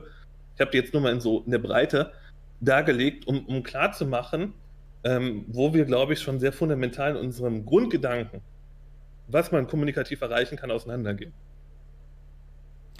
Äh, ich würde denken, ich würde erstmal zustimmen, dass man mit dem Verstand, wenn man auf Kulturebene etwas ähm, etablieren kann, durchaus biologische äh, oder naturgegebene Sachen überschreiben kann, beziehungsweise ähm, ja, also abmildern kann. Ähm, von mir aus können wir auch da die Frage offen lassen. Ich würde nichtsdestotrotz sagen, dass die Mustererkennung eine dominante Strategie ist, um die Welt zu verstehen. Das heißt, man macht einen heuristischen Ansatz eher als einen logisch-deduktiven Ansatz, weil der sehr viel schwieriger ist. Und das hat, glaube ich, schon was damit zu tun, dass der tatsächlich auch kurzfristig der effektivere ist, um irgendwas in, all, in seinem Alltag zu verstehen. Ähm, ja, also die Mustererkennung ist einfach sehr viel nützlicher im Alltag. Ähm, und der logisch-deduktiv, es ist ja kein Zufall, dass die Evolutionstheorie über Jahrtausende, obwohl es so viele kluge Menschen in der Zwischenzeit gab, ähm, eben erst bis Darwin, erst mit Darwin ähm, verstanden wurde. Oder dass die marginale Revolution so im, im Wirtschaftskontext, dass die erst, ähm, dass die nicht früher verstanden wurde. Da muss halt erstmal jemand durchsteigen. Ja, da muss halt irgendwo jemand äh, den Verstand anwenden und bereit sein, nicht einfach. Mh, hm, ja, okay. Also ich denke, das ist schon so, dass wir da eine Problematik haben, dass, dass der, die, die Ideen, die, die wir hier oder die, die von der österreichischen Seite her kommen, die verbreitet werden, das ist halt, das ist halt, es geht um Wahrheit. Ja, und das ist deduziert von gewissen Annahmen. Das ist eine logische Sache und das ist halt nicht die, das Thema für viele Menschen. Ähm, und dann, dann gehen sie halt einfach, ähm, vielleicht ist da so ein bisschen dieser Pragmatismus-Engel vielleicht ganz, ganz, ganz brauchbar. Ja, die, die, man, macht, man hat halt irgendwie eine Annahme darüber, wie die Welt funktioniert, die ist einfach heuristisch etabliert. Ja, und dann trifft man von Tag zu Tag den Entscheidungen und fahrt dann halt auf Sicht. Und der Kontrast dazu ist, ja, wenn man halt Prinzipien hat, oder Dogma, wenn man es will, wenn man es negativ ausdrücken will, dann, ähm, dann mag das erstmal nicht ganz verstanden werden, aber man denkt sich die Sachen ja vorher durch, damit man im, äh, wenn es darauf ankommt, wenn man unter Druck ist, schon im Vorhinein die, die, die Antworten parat gelegt hat für, für den Fall der Fälle. Und naja, das schwingt auch so ein bisschen jeweils immer so ein bisschen äh, Arroganz dann mit, wenn man sagt, na gut, vor allen Dingen ist es immer, wenn es Entscheidungen von anderen betrifft. Ich meine, im Privaten kann ja jeder das so machen, wie er will und für sein, für sein privates Leben den Pragmatismus wählen und die Mustererkennung, seine Heuristik trainieren. Aber wenn man dann anfängt, für andere Entscheidungen zu treffen und den Ansatz fährt, dann ist es halt, naja, du siehst die Leute halt nicht. Diese Gesellschaft ist groß, die Leute sind entfernt. Und wir reden hier von Millionen von Menschen. Und das ist halt eine Anmaßung von Wissen, zu glauben, dass man da mit diesem Pragmatismus-Ansatz, ähm, dass man den verfolgen kann, ohne dass das schief läuft. Und das ist auch schief gelaufen im, im, im äh, 20, 20. Jahrhundert. Ähm, und das ist halt, aber dieser intuitive, pragmatische Ansatz, der wird halt weiterhin verfolgt, weil, weil es ist einfach nur nicht verstanden worden, welchen Schaden der anrichtet. Das ist, glaube ich, ähm, deswegen ist es, glaube ich, der Verweis auf die Ideen. Ich, ich weiß keinen anderen Ansatz. Die Leute müssen diesen, diesen, diese Sachen verstehen. Auf, eine Kultur aufzubauen, wo die Leute nicht verstehen, was die Prinzipien sind, die, die zu, die, zu, zu irgendeiner Schlussfolgerung führen. Wenn man das nicht hat, dann glaube ich, wird das nicht von Bestand sein. Ja, also vielleicht dazu ganz kurz. Ähm, ich, ich, bin mir nicht so sicher, ob das der ideale Gegensatz ist, weil ich zum Beispiel, ich halte die Nationalsozialisten für sehr prinzipientreu. Die, die, die haben fest von ihren, ihren, ihren Erb, ihr sozusagen Erbding geglaubt, die haben trotz allem sehr, sehr fest an, an äh, den malthusischen Gedanken geglaubt, sozusagen von der Landknappheit und dass sie Lebensraum brauchen und so. Ähm, wo ich dir aber zustimme, ist auf jeden Fall die Tatsache, ist, ähm, tatsächlich, die Menschen denken nicht genug nach. Vor allem die Menschen denken nicht genug über ihre Philosophie nach. Das klingt, und ich glaube, das liegt daran, und da, da sehe ich ein viel größeres Problem, dass wir, und das ist ein Werk sozusagen unserer kulturellen Klasse quasi. Das ist äh, auch, und das fällt nicht vom Himmel, das ist äh, auch durchaus gemacht, dass wir Philosophie und all diese Sachen als komplex und kompliziert und irgendwie entfernt von unserem Leben wahrnehmen. Und wenn du so einen Precht oder so siehst, der dann rumschwafelt, das ist auch, was der quasi erzählt. Philosophie ganz schwierig und so. Und das glaube ich nicht. Ich glaube, dass ähm, am Ende des Tages ist quasi jede unserer Handlung irgendwie gegründet in Philosophie. Äh, trinke ich ein Glas Wasser, dann sind da intuitiv Annahmen darüber drin, wie das Wesen der Welt ist. Ne? Also es gibt eine objektive Realität, ich habe Bedürfnisse, ich unterliege Naturgesetzen, die sind zu befriedigen. Ähm, das ist eine philosophische Aussage. Wenn ich irgendwas einkaufe, da eine philosophische, eine ethische Wertpräferenz drin, warum ich das eine kaufe und nicht das andere. Ähm, das Problem ist, die meisten Menschen geben sich einfach einem Zustand hin. Vielleicht meinst du das ein bisschen mit Mustererkennung, wo sie einfach gucken, was die anderen machen und das nachmachen. Das halte ich für sehr dumm, weil das bedeutet, man ist nicht selber Lenker seines Lebens, sondern man wird einfach nur von den anderen gelenkt und macht nach wie so ein scheiß Tier oder ein Fisch in einem Schwarm. Ähm, völlig dumm und unintelligent, weil man mitschwimmt. Ähm, und das halte ich für sehr, sehr falsch und ich glaube, es ist sehr wichtig, vielleicht sind wir uns da auch einig, die Menschen dazu zu bringen, darüber grundlegend nachzudenken. Ähm, das würde ich schon sagen. Aber ich weiß nicht, ob sozusagen, also natürlich bin ich, äh, denke ich in Prinzipien oder ich denke in einer kohärenten Philosophie. Aber ich weiß nicht, ob, ähm, ich würde es aber trotzdem nicht ganz so leicht machen zu sagen, jetzt das Dogma ist, ist gut, der Pragmatismus ist automatisch schlecht. Nö, würde ich auch nicht. Ich, ist, das ist ja auch im privaten Leben, glaube ich, auch der, der korrekte Ansatz, der Pragma oder der, der nützlichere Ansatz. Also. Das glaube ich übrigens nicht. nee, okay. Ich meine, das ich ist halt die, die. Wenn du eine kohärente Philosophie hast, solltest du sie haben im privaten wie im, im sonstigen Leben. Und das halte ich tatsächlich für das größte Problem von den Austrians, dass die von den Leuten immer erwarten, und ich glaube, dass das schlecht funktioniert, dass die Menschen im Privaten eine andere Philosophie haben als im politischen und öffentlichen. Also die, die, die Austrians haben die Tendenz, die Menschen in ein beständiges Leben mit der kognitiven Dissonanz der Widersprüche zu stürzen. Weil sie sagen, du kannst privat ein mega konservativer Christ sein, aber staatlich darfst du dich nicht einmischen. Das ist sehr, sehr unlogisch für Menschen. Wenn ich privat, darf, wenn ich privat der Meinung bin, alle Abtreibungen sind, sind Werke des Teufels und gegen die göttliche Ordnung, warum sollte ich dann nicht auch politisch dafür sein, dass sie verboten werden? Jetzt um nur irgendein Beispiel zu nehmen. Das heißt, du zwingst Leute eine kognitive Dissonanz, weil äh, die, ihre private Logik anders funktionieren soll als die öffentliche, äh, staatliche, gesellschaftliche Logik. Das halte ich für sehr, sehr schwierig. Und ich glaube auch, dass das einer der Gründe ist, weil gerade so eher die klassische österreichische Schule bezieht sich halt nur auf Politik und Wirtschaft. Ne? Also die, die sagt ja nicht, wie du dein Leben leben sollst. Oder was sinnvolle Werte für dein Leben sein können. Das, dazu trifft die ja keine Aussagen. Ne? Ja, ähm, ja, wertfrei. Genau, sogar genau wertfrei. Und, und sobald du eine Philosophie hast, die nur einen sehr begrenzten Bereich abdeckt und ansonsten wertfrei ist, füllt irgendwas anderes diese wertfreie Zone. Und das sind dann antifreiheitliche, antikapitalistische Ideen. Ich sehe das, wenn ich für die Eigentümlich freischreibe. Schreibt er irgendwelche Artikel, dann schreiben die Leute, oh Gott, ich bin dagegen, weil das ist so kommerzialisiert. Oder, oh Gott, oh Gott, da ist der Sittenverfall. Das darf nicht sein, dass das so ungeregelt abläuft. Ne? Also, du merkst sofort, wie durch dieses private, durch diese privaten Vorstellungen, durch diese riesige Lehrstelle, die die österreichische Schule lässt, sofort der antikapitalistische Geist quasi sofort wieder zurückkommt und dann langsam anfängt, sich von da aus wieder auszubreiten. Ich bin der festen Überzeugung, dass von ganz, ganz vielen, die heute unter irgendwie liberal-konservativ oder teilweise auch libertär laufen, rechtslibertär, so Hoppe-Style, dass sobald die erstmal die Macht im Staat haben, die einen Teufel tun werden, die Freiheit aufzubauen. Das ist meine feste Überzeugung, weil ich glaube, dass es so viele private Wertvorstellungen gibt, die inzwischen reingesickert sind, die viel, viel stärker sind als dieses in Häkchen wertneutrale politische kleine Programm an der Oberfläche. Na, ich glaube, du, du, du, okay, so viele Punkte.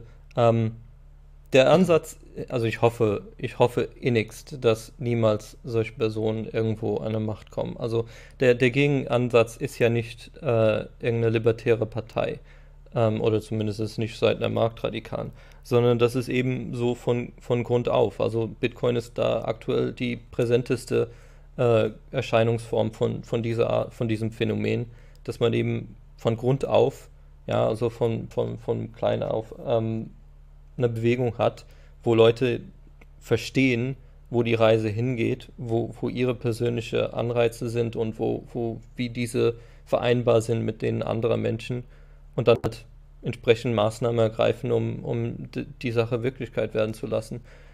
Das ist, äh, das ist halt alles kein politischer Ansatz. Also ich glaube, das ist ein bisschen zu sehr das aktuelle ähm, Weltbild vom, vom aktuellen Welt. Das ist ja dieses Ding mit der Demokratie, dass man da halt, jeder muss über alles mitentscheiden, von oben herab. Jeder muss gedanklich sich irgendwo als der, ähm, der Herrscher oder der, der Diktator, okay, wenn du König wärst, wenn du Bundeskanzler wärst, wie würdest du das machen? Das, ist, das schwingt so in dieser Frage halt mit. Ja, das ist, was die, die Frage ist halt, ich, ich denke, die Frage ist nicht interessant die, der Ansatz ist eher ein anderer. Man muss, okay, wie viel schafft man es äh, vom Grund auf, diese, diese Sachen so umzusetzen? Ich glaube, der Unterschied ist hier vielleicht ein gutes Stück, ob man sagt, das ist jetzt die interessante Frage, würdest du sagen, das Private ist politisch? Ähm, das Private ist, weiß ich jetzt nicht, ob, man, ob ich das so beantworten kann. So, bezüglich diesem privaten Ö Öffentlichkeitsdissonanz, die du angesprochen hast, ich denke, das Problem ist halt, für einen Menschen ist es, wenn er jemanden kennt, wenn er, eine, wenn er einen Ruf hat äh, mit einem anderen, da, das ist, da ist halt die Dynamik eine ganz andere als äh, für einen Fremden oder für Millionen von Fremden. Ja, man hat halt ähm, Möglichkeiten, Leuten zur Leute zur Rechenschaft zu ziehen. Und im Privaten kann ich deswegen viel besser mit dem Pragmatismus, mit der Intuition arbeiten, weil das ist ja auch geprägt, das, das ist ja auch, und wir haben auch von mir aus Kultur oder Prägung, ähm, Kultur oder Natur, ähm, kann man ja wieder dahingestellt lassen, aber wir haben das irgendwie drauf, dass wir mit unseren Mitmenschen sehen, okay, der ist in Ordnung oder der, der mit dem hat es sich bewährt, äh, der, der hat sich als Freund bewährt oder man kann im Privaten halt sehr viel doch diesen Kollektivismus von mir aus ähm, ausleben, weil man halt eben die, diese, diese Möglichkeiten hat, Leute auszugrenzen, falls sie mal doch irgendwo einen Fehltritt sich leisten. Oder weil man sich über Jahre merken kann, okay, ich habe mir, äh, der hat das mal damals für mich gemacht und jetzt ist er in der Bredouille und jetzt äh, werde ich deswegen solidarisch mit ihm sein. Aber auf der Ebene von Millionen hat man halt diese Mittel nicht. Man hat diese, man sieht diese Person nicht. Man, wenn man da eine Solidargemeinschaft von äh, über Millionen von Menschen ausruft, dann ist er halt Tür und Tor, Tor aufgemacht für Missbrauch, weil, weil, man eben die, nicht diese Mechanismen hat. Und da ist eben der, der Gegenansatz, dass man sich auf Pareto-Optimale, also immer für beide Seiten äh, vom Vorteilhaften, äh, vom Vorteil dass man sich auf solche Tauschverhältnisse beschränkt, das ist halt ähm, eher der Ansatz, der korrekt ist. Der, wenn man tatsächlich durch die Ideologie durchsteigt, durch die Ideen, ähm, dann findet man heraus, dann, dann, dann findet man heraus, dass das eher funktioniert. Ja, also das ist, glaube ich, diese, warum diese Dissonanz gerechtfertigt sein kann. Und ähm, ja, aber die Leute steigen halt nicht mal in diesen Ideen rein, und verstehen deshalb nicht, warum das schief läuft und ähm, glauben und wenden dann intuitiv ihre Sachen aus, ihre Denkmuster aus dem, was sich im Privaten etabliert hat, auch auf die, auf die große Ebene an.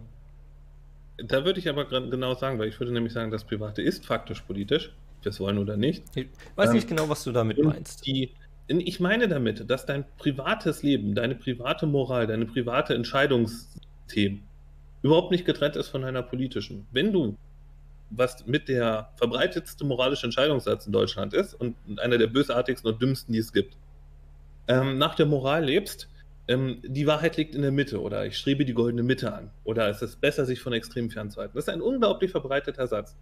Und das wenden Menschen im Privaten genauso wie im Politischen an. Das ist ein allgemeiner Entscheidungssatz, den die Menschen immer anwenden. Ähm, die wenden das privat an, wenn die überlegen, was für ein Auto die sich kaufen, dann sagen, ja, dann nicht das teuerste, nicht das billigste, goldene Mitte. Oder wenn die, die essen gehen, dann nämlich das billigste Restaurant, nicht das teuerste, sondern goldene Mitte. Das ist unglaublich verbreitet. Und genauso gehen die Menschen dann auch in die Wahlkabine. Die wählen dann auch die Mitte und nicht irgendwelche extremen Ränder, weil die Wahrheit ist ja sozusagen der Kompromiss, dieses Mittelding. Und ich bin der Meinung, es kommen auch überhaupt sehr, sehr viele überhaupt nicht auf, auf so eine, solche libertären Ideen dieser österreichischen Ausprägung, weil, äh, was du ja auch so gesagt hast, die Menschen jetzt plötzlich im politischen, gesellschaftlichen eine völlig andere Entscheidungs, sagen wir Heuristik oder ein Entscheidungssystem nutzen sollen, als, ähm, als im Privatleben. Und das halte ich für genuin unpraktisch. Das ist einfach anstrengend. Also es macht die Sache anstrengend, weil du immer hin und her springen musst. Und ich glaube, ich glaube auch nicht, dass sozusagen, wenn du Kollektivismus im Privaten ausleben willst, schwappt dir früher oder später in die Politik rüber. Die, ich bin der festen Überzeugung, weil die Menschen im Privaten der Meinung sind, die starken Schultern müssen mehr tragen. Der aus meinem Bekanntenkreis, der schön viel Geld hat, der kann mich auch mal ruhig einladen, ohne sozusagen Gegenwert. Weil, weil es diese Gedanken im Privaten gibt, gibt es sie auch im Politischen der Solidargemeinschaft. Und der gleiche Satz, starke Schultern müssen quasi mehr tragen, wird im Privaten genauso gesagt in der Familie wie im Politischen. Und am hm. Ende hast du im Privaten das gleiche Ergebnis wie im Politischen.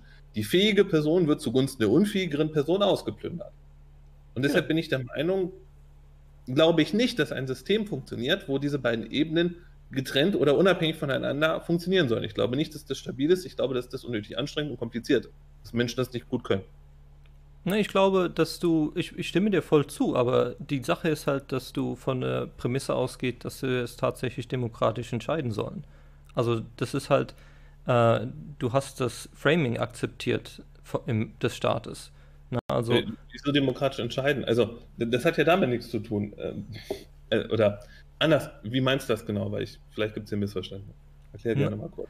Naja, also das ist die, dieser Punkt mit dem, äh, was würdest du machen, wenn du Bundeskanzler wärst oder König wärst. Also das ist halt die, die, die, das Framing, die Frage, äh, der Teufel braucht sich ja keine Sorgen um die Antwort machen, wenn er die Frage stellen darf oder bestimmen soll. Und, und das ist halt die Ausgangsprämisse, dass wir überhaupt alle gemeinsam, äh, dass da das so entschieden werden soll. Ja, also ähm, und das ist halt, da gehen wir halt auseinander. Ähm, ich meine, du bist auf der Inhaltsebene, magst du ja sehr viel näher von uns sein, aber auf der Ausgangsprämisse sagst du ja, okay, es soll schon diesen Staat sein, der irgendwie das, diesen, das Recht vorgibt. Und ähm, wir müssen da irgendwie, ne, könnte, vielleicht will der jetzt nichts unterstellen, aber höre ich so raus, dass, ähm, ja, also wenn man dieses Framing akzeptiert, dann hast du vollkommen recht. Dann ist es ganz natürlich, dass die Leute diese privaten Ansätze, weil sie eben nicht die Zeit sich nehmen, um die, durch die Ideen durchzusteigen, äh, dass sie diesen Ansatz aus dem Privaten übertragen werden in, äh, in, in, in die Öffentlichkeit. Das ist, das, da hast du vollkommen recht. Aber das ist halt, das Framing muss halt abgelehnt werden ich, ich, ich würde da ganz, ganz hart sagen, tatsächlich, vielleicht ist das das Missverständnis. Was wir als Framing haben wollen, ist scheißegal, wenn wir in einer Realität sind, wo es einen Staat gibt, der über Mehrheitsentscheidungen funktioniert. Das ist das. Egal, wo wir hinwollen, wir müssen da irgendwie, ich als Minimalstaater, ich muss einen Weg finden, diesen Staat klein zu machen. Du als Anarchist, wie gesagt, ich glaube persönlich nicht an eine Anarchie, ähm, aber du als Anarchist musst eine Möglichkeit finden, den Staat wegzukriegen. Das kannst du nicht alleine machen, das musst du mit vielen anderen Menschen machen. Das heißt, und, und das bleibt auch nur so, wenn viele andere Menschen deiner Meinung sind. Du musst die überzeugen. Also ja, am ja. Ende über die Abstimmung mit Füßen nicht drum So. Und die wird es immer geben. Wenn in einer Anarchie 90% der Menschen denken, Privatkommunismus ist gut, dann wird von einer Anarchie nach einem, also Zeit eh keine Anarchie länger als zwei Wochen, aber dann wird von einer Anarchie erst recht nichts übrig bleiben. Quasi. Und deshalb sehe ich jetzt nicht, wo ich ein falsches Grundframing übernehme. Ich, ich mache mir einfach Gedanken darüber, wie kriegen wir eine schöne kapitalistische Welt. Und, und dafür ist es nun mal entscheidend oder dafür, es wird immer sozusagen Politik, immer Kollektiventscheidungen geben. Und Menschen werden immer die Tendenz haben, andere Menschen, wenn das aus ihrer Privatmoral folgt, zwangsweise in ihre Moral mit reinzuziehen und, und sie ihren Entscheidungen zu unterwerfen. Und deshalb musste das auf der privaten Ebene, so meine feste Überzeugung, auch angehen, weil du kannst nicht sozusagen die politische Ebene abtragen und dann hast du ganz viele kollektivistisch denkende Menschen, die werden dir sofort jede Unfreiheit wiederbringen, sobald die die Gelegenheit haben und die wird kommen. Naja, also wir, der, die Hauptidee, die sich etablieren muss, ist eben, dass es nicht in Ordnung ist, äh, Zwang auszuüben. Also dass, dass das nicht als Mittel, um seine Ziele zu erreichen, ähm, also ist, mit der Waffe das Geld aufzutreiben, um eine Schule zu bauen, das ist halt kein legitimes Mittel. Also Gewalt zur Selbstverteidigung, ja, und da kann man auf, würden wir wieder zu sehr auf die Inhaltsebene runtersteigen, glaube ich. Aber ich glaube schon, dass man diese Ideen äh, Menschen transportieren kann. Ja, also ob, ob man die selber tatsächlich, ob wir die kommunizieren müssen oder ob sie rein aus der Erfahrung dann das selber äh, entdecken. Na, also die DDR ist ja auch nicht mehr, beziehungsweise, ja, das gab jedenfalls den Fall der Mauer. Und da haben sich Leute auch, haben die Leute ja auch eine Erfahrung draus gezogen. Ähm, also es ist nicht so, dass ähm, ja, wir müssen nicht selber das persönlich, die, die müssen es halt entdecken, die müssen es verstehen. Also ob wir überhaupt als Bewegung das schaffen werden, äh, jeden zu überzeugen. Ich meine, vielleicht ist das so eine Sache, wo man dran arbeitet. Also diese Ideen, soweit sie transportiert werden, wird nur im Rahmen vom Diskurs passieren. Ja, also das ist ja auch das, was wir machen. Ähm, das, die, diese Diskursbereitschaft, die muss, äh, glaube ich, hochgehalten werden, etabliert werden, weiter verbreitet werden. Und äh, da sind wir wieder ein bisschen bei diesem äh, Medienbruch, also der Umschwung zu den, äh, für, für, zu den freien Medien, nicht mehr zu den zentralisierten Medien, dass jeder halt, dass viele mehr äh, zur Sprache kommen und Diskurs miteinander haben. Ähm, dann haben diese Ideen, glaube ich, schon auch eine größere Chance. Hm. Aber, im Wes aber das glaube ich nicht. Also das glaube ich tatsächlich nicht, weil was, was sind die Alternativmedien? Die Alternativmedien sind im größten Teil eine riesige Ansammlung von bekloppten Kollektivisten und autoritären Staatshörigen, die nur der Meinung sind, Politik müsste mal richtig gemacht werden oder jede Scheiße müsste demokratisch entschieden werden. Ich meine, guck dir die Basis an. Die begann bei einer eigentlich freiheitlichen Forderung, genau wie die AfD ja eher trotz allem eher in dieser Richtung begann und ist völlig abgedriftet in bekloppten Kollektivismus. Und das ist ja nicht nur da so. Das passiert uns Häkchenfreiheitsfreunden ja ständig. Warum? Weil die, weil die Menschen ja nicht sozusagen, die sind in unserer Gesellschaft ja nicht geistig blank, sondern die haben bestimmte, da stimme ich dir ja zu, deshalb sage ich auch, wir haben in der Vergangenheit verkackt, bestimmte Entscheidungslogiken, nach denen die handeln. Und wenn die AfD sagt oder Bernd Lucke gesagt hat, Euro doof, dann haben, oder wir heute sagen EZB doof, dann ist der intuitive der Gedanken der Menschen nicht EZB abschaffen, freies Geldsystem. Das kennen die nicht. Das ist eine sehr lange Kette. Ähm, Deshalb zum Beispiel sehe ich auch dieses Thema EZB Abschaffung Inflation für die Batterie kritisch, weil du musst die Menschen folgende geistige Kette entlang führen. EZB doof. Das Problem ist aber nicht nur EZB, sondern das EZB ist grundsätzlich staatliches Geldmonopol. Staatliches Geldmonopol führt weg, Schritt 3, Schritt weg vom natürlichen Geldmarkt. Dementsprechend besser freies Währungssystem für natürlichen Geldmarkt. Das sind vier Schritte. Der Nationalist muss nur einen Schritt gehen. EZB doof, bei der D-Mark war es besser. Bumm, fertig. Der Nationalist wird dich immer besiegen weil seine Argumentation kürzer, einfacher und intuitiver ist. Und das ist auch genau in der AfD passiert. Die ganzen Wirtschaftsliberalen haben alle völlig verkackt. Warum? Weil, weil die intuitive Antwort der Menschen auf äh, EZB-Probleme nicht war, oh, ich lese ein Wirtschaftspaper von der High-Gesellschaft, wie das besser sein könnte oder wie man das marktfrei auf dem Markt machen kann, sondern weil die intuitive Gedanke der Menschen war, stimmt EZB blöd, also D-Markt zurück. Und genau das passiert. So, so meine Überzeugung. Deshalb glaube ich auch nicht, dass es sozusagen auf der Ebene funktioniert. Naja, die also, Leute hören ja erst dann zu, wenn sie es, es muss erst eine Bereitschaft da sein, diese Ideen tatsächlich nachzuvollziehen. Und es gibt einfache Botschaften, wo man, glaube ich, schon diesen Anreiz schaffen kann, wo man sagen kann, okay, Grund, also von, wieder von, von den Grundideen ausgehend. Ähm, du willst irgendwas. Andere Leute wollen auch irgendwas. Und wenn du als Ausgangsprämisse annimmst, dass es in Ordnung ist, deinen Willen anderen aufzuzwingen, weiß nicht, wie weit das der Gesellschaft, dass das so eine zivilen Ordnung der Zivilisation wirklich dienlich ist. Und also mit diesem Ausgangspunkt, also du, du sollst kein, deinen Willen nicht irgendwem anderen aufzwingen, ähm, das ist halt einzig und allein das, was der Staat, wozu der, das, das ist das Kernding, was der Staat halt macht. Ja, jedes Gesetz ist halt das Gewaltmonopol, das, der wird halt damit umgesetzt und dein Wille ist damit äh, immer mit Zwang verbunden. Das ist halt der Ausgangspunkt. Und der ist nicht so kompliziert zu vermitteln, wenn die Leute dann irgendwann mal zuhören würden. Aber wenn man den Ausgangspunkt hat, dann, äh, kann sie, dann sind die anderen Ideen, dann ist der Anreiz geschafft, da, um tatsächlich sich damit zu beschäftigen. Aber, ich, ja. Wenn ich was sagen darf, ich finde den Ausgangspunkt aber in gewisser Weise oberflächlich, weil, habe ich auch schon gesehen, also auch, auch auf dem Liberty Rising Discord und so, wir haben ja häufiger mal, dass da irgendwelche Kommunisten oder Rechten vorbeikommen oder so, und habe auch Online-Videos gesehen, musste letztens, oder was heißt musste, habe mich natürlich dafür entschieden, ähm, bei der Grauzone mit dem Schattmacher diskutiert und so mir auch Videos von dem angeguckt. Deine gesamte Argumentation macht sofort einen Auffahrunfall, sobald die andere Person sagt, ja, Zwang gehört halt zur Welt. Da kommen wir nicht raus. Das ist halt so. Warum nicht? So. Deine gesamte Argumentation, alles, was du hast, ist an, hat in diesem Moment einen Auffahrunfall und das war's für dich. Ja, ich Wenn kann ja auch nicht jeden überzeugen. Das ist schon so, das ist schon richtig. Ja, ja. Das gibt, es gibt so, so gibt solche und solche Leute. Ähm, der Lehr größte Lehrmeister ist ja der Schmerz. Ähm, und vielleicht ist das dann die Konsequenz aus der Diskussion, dass, dass man da. Hm, das, ich bin ja nicht so, dass ich die Zukunft vorhersehen könnte. Aber eventuell ist es ja die Kommunikation. Ähm, ja, man muss halt die, die, die Inhalte bereithalten äh, für, für den Moment, wo jemand tatsächlich aus seinem Schmerz lernt äh, oder zumindest die, den Anreiz bekommt, sich damit zu beschäftigen, wo, sind ich, wo bin ich denn schiefgelaufen? Ähm, und bis es soweit ist, dann wirst du, genau wie du es eben schilderst, ja, und dann wird er einfach, ja, so, so, solche Takes raushauen. Ja, also es ist ja schon so, dass diese Sache mit der Willensgleichheit äh, eine philosophische Grundlage hat, womit man sich beschäftigen müsste. Warum eben, ja, aber das wäre wieder zu sehr in die Inhaltsebene.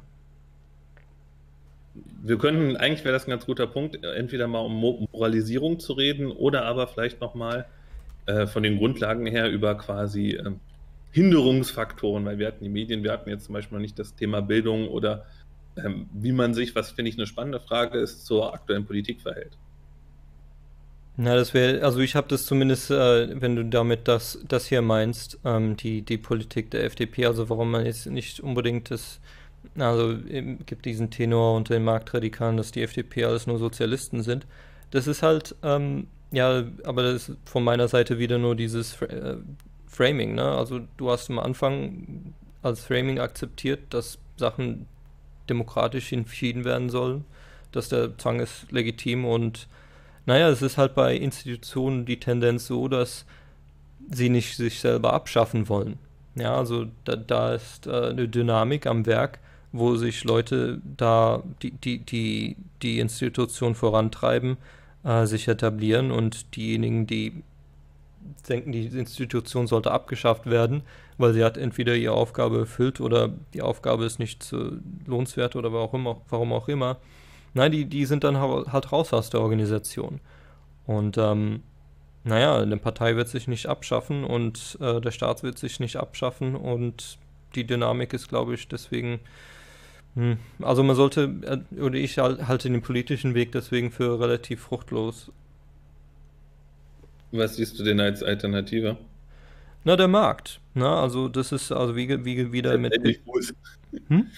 Das ist sehr diffus. Eine der Sachen, die ich gelernt habe, niemand ist überzeugt, wenn man sagt, der Markt regelt das schon. Einer der schlechtesten Argumente, die man haben kann.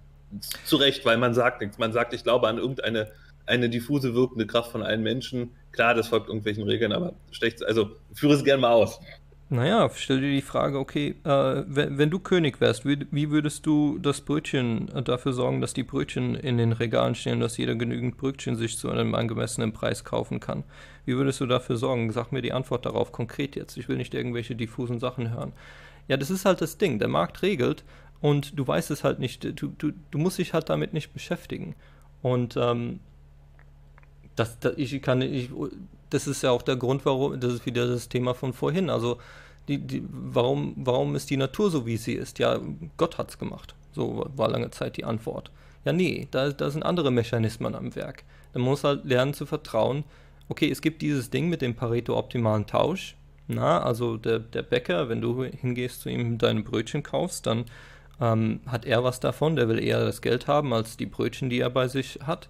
Und du willst umgekehrt lieber das äh, Brötchen haben als das Geld, was du ähm, bei dir Keine hast. Sorge, du, du, musst mir nicht den Marktmechanismus erklären. Das ist ja, aber das ist halt äh, der Pareto-Optimal. Also ich, ich, kann nur auf die Mechanismen halt verweisen. Ja, der Pareto-Optimal.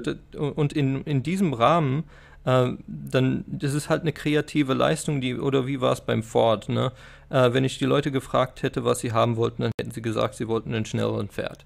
Ja, aber man muss, es gibt da Leute, Unternehmer, die unterwegs sind und sich Gedanken machen, wie können Menschen besser miteinander kommunizieren, besser miteinander Verträge schließen, besser vereinbaren und, und ihre Probleme lösen. Und die Grundfrage, das Framing, was da mitschwingt, ist halt, ja, okay, wie schaffen wir gemeinsam von oben herab, also wenn man die Politik angeht, dann wie, wie, wie, wie regeln wir das alle gemeinsam? Das ist halt die falsche Frage, das ist die Frage vom Teufel. Also nicht, dass ich religiös wäre, aber so wird es ja in der. Das ist, der Teufel braucht sich keine Sorgen machen um die Antwort, wenn er die Frage stellen darf. Ich glaube, wir sind uns einig auch, dass das die falsche Frage ist. So, so ist das nicht. Wobei natürlich müssen sich am Ende die Menschen darauf einigen, auch, auch nicht Intervention ist eine Sache, auf die sich Menschen einigen müssen am Ende des Tages. Ne? Ähm, aber ich weiß nicht, eigentlich, eigentlich ging es mir aber um eine andere Richtung und zwar nochmal um die Frage, was ist gute Kommunikation, zum Beispiel auch was, was äh, betrifft, wie, wie, sagen wir, offensive man in die Fresse ist. Mhm. Ähm, äh, wie viele FDPler habt ihr schon dadurch überzeugt, dass ihr die FDPler alle als Sozialisten beschimpft? Das, ich führe darüber keine Statistik. Also es gibt bei, bei, uns Leute, die ehemals bei der FDP waren. Also, weiß nicht. Hab da keine Statistik drüber. Weil, weil zum Beispiel ich, ich, ich, ich, glaube nicht an diese Strategie. Ich halte sie tatsächlich, ich halte es auch gut, dass jetzt vielleicht ein Unterschied für sachlich falsch. FDPler sind keine Sozialisten. Sie sind teilweise ein bisschen Sozialdemokraten, aber klassische Sozialisten würde ich sagen, sind sie nicht. Ja. Sie sind, so glaube ich, zu einem ganz, ganz großen Teil äh, eigentlich Anhänger auch der Ideologie der Mitte, nämlich diesem Gedanken, ah, man braucht doch nur einen Ausgleich. So. Ähm, das, glaube ich, ist auch deutlich verbreiteter als klassischer Sozialismus. Ähm, aber das ist halt auch die Frage, wie geht man vor? Ich glaube, da gibt es nämlich auch einen Unterschied. Liberty Rising bemüht sich, glaube ich, mehr darum, ideologische Brücken zu bauen, scheint mir als die Marktradikalen. Die Marktradikalen hoffen eher darauf, dass sie die Leute mit in die Fresse provozieren. Jetzt nicht unbedingt, dass das, wir haben, glaube ich, beide nicht genug Datenlage, um zu sagen, was besser funktioniert, ne? So. Ähm, äh, aber die, die hauen den Leuten das ja in die Fresse und hoffen dann, dass die Leute irgendwie so verstört, aber auch interessiert sind, dass sie sich danach damit ja beschäftigen. Das ist ja mehr so die marktradikalen Strategie, würde ich sagen. Zumindest mhm. jetzt von dem, was nach außen ist. Erstmal die Leute sozusagen den Leuten quasi einen klatschen, in der Hoffnung, dass Leute dann neugierig werden. Und sich fragen, was hat mich da geklatscht? Kann man das so sagen? Äh, ja, also ähm, ich würde wieder auf das Aushängeschild verweisen. Also ähm, die in die Fresse schla zu schlagen, ist, das, das, sind halt wichtige Ideen, äh, mit denen sich Leute beschäftigen sollen. Und wir sind bereit, in den Diskurs zu treten diese Diskursbereitschaft auf Seiten von anderen ist nicht unbedingt immer da, aber ähm, ich beobachte schon eine Tendenz, dass, die, dass immer mehr Leute sich damit beschäftigen. Ähm, aber das ist halt der Grund, warum man das so ja macht. Das ist damit, damit die Leute, okay, irgendwo an den Kopf gestoßen werden und merken, okay, ähm, da ist irgendwas, was nicht in mein Weltbild passt. Und dann hat man vielleicht äh, bei den einen oder anderen Neugierde geweckt, was es damit auf sich hat. Ich würde auch diese Sache mit der Kultur, ähm, also dieser Gegensatz zu dem Liberty Rising Ansatz, also die, der Vorteil von der Wertfreiheit ist halt, man versperrt sich nicht den ähm, Weg für, für viele. Also wenn man in, auf die Wertebene absteigt, äh, vielleicht für, aufsteigt von mir aus, muss man jetzt nicht irgendeine, ähm, wie dem auch sei, wenn man auf die Wertebene ist, dann ähm, verstößt man äh, viele, weil naja, Werte sind halt subjektiv und es sind äh, persönliche Präferenzen und äh, es gibt unterschiedliche Menschen, die mit unterschiedlichen Lebenswegen und wenn du anfängst mit, okay, du musst jetzt irgendwie Leistung oder darfst nicht kiffen oder sowas, dann ist es halt, ähm, ja, das ist halt eine, in, du initiierst damit eine aus meiner Sicht subjektiven persönlichen Präferenz, die von mir aus auch nachvollziehbar ist, aber die muss nicht unbedingt geteilt werden. Und die Ideen sind ja, also zumindest die Ideen aus dem österreichischen Ansatz her, sind ja wertfrei. Und man muss diese Leute nicht verstoßen. Ja, sie können diese Ideen akzeptieren und verstehen, wie die Welt funktioniert und dennoch ihre und, und dann sagen sie sich, okay, die haben dann ein besseres Bild vielleicht davon, was die Konsequenzen ihrer Wertentscheidungen sind. Ja, weil sie jetzt die Welt besser verstehen und sehen, okay, Kiffen hat diese Konsequenz zur äh, Folge und hören dann vielleicht, überlegen sich das dann vielleicht nochmal. Aber grundsätzlich ist es nicht, also auf die Wertebene zu gehen oder davon auszugehen, naja, man, man verstößt da halt Leute unnötig, denke ich. Also, also zum einen muss ich sagen, jetzt auch sagen, Zwang ist, ist, ist falsch, ist auch eine Wertentscheidung, würde ich sagen. So gesehen halte ich das für Selbstbetrug zu sagen, man ist wertfrei. Wenn man Rothbard liest, Rothbard ist fies, aber sicher nicht wertfrei.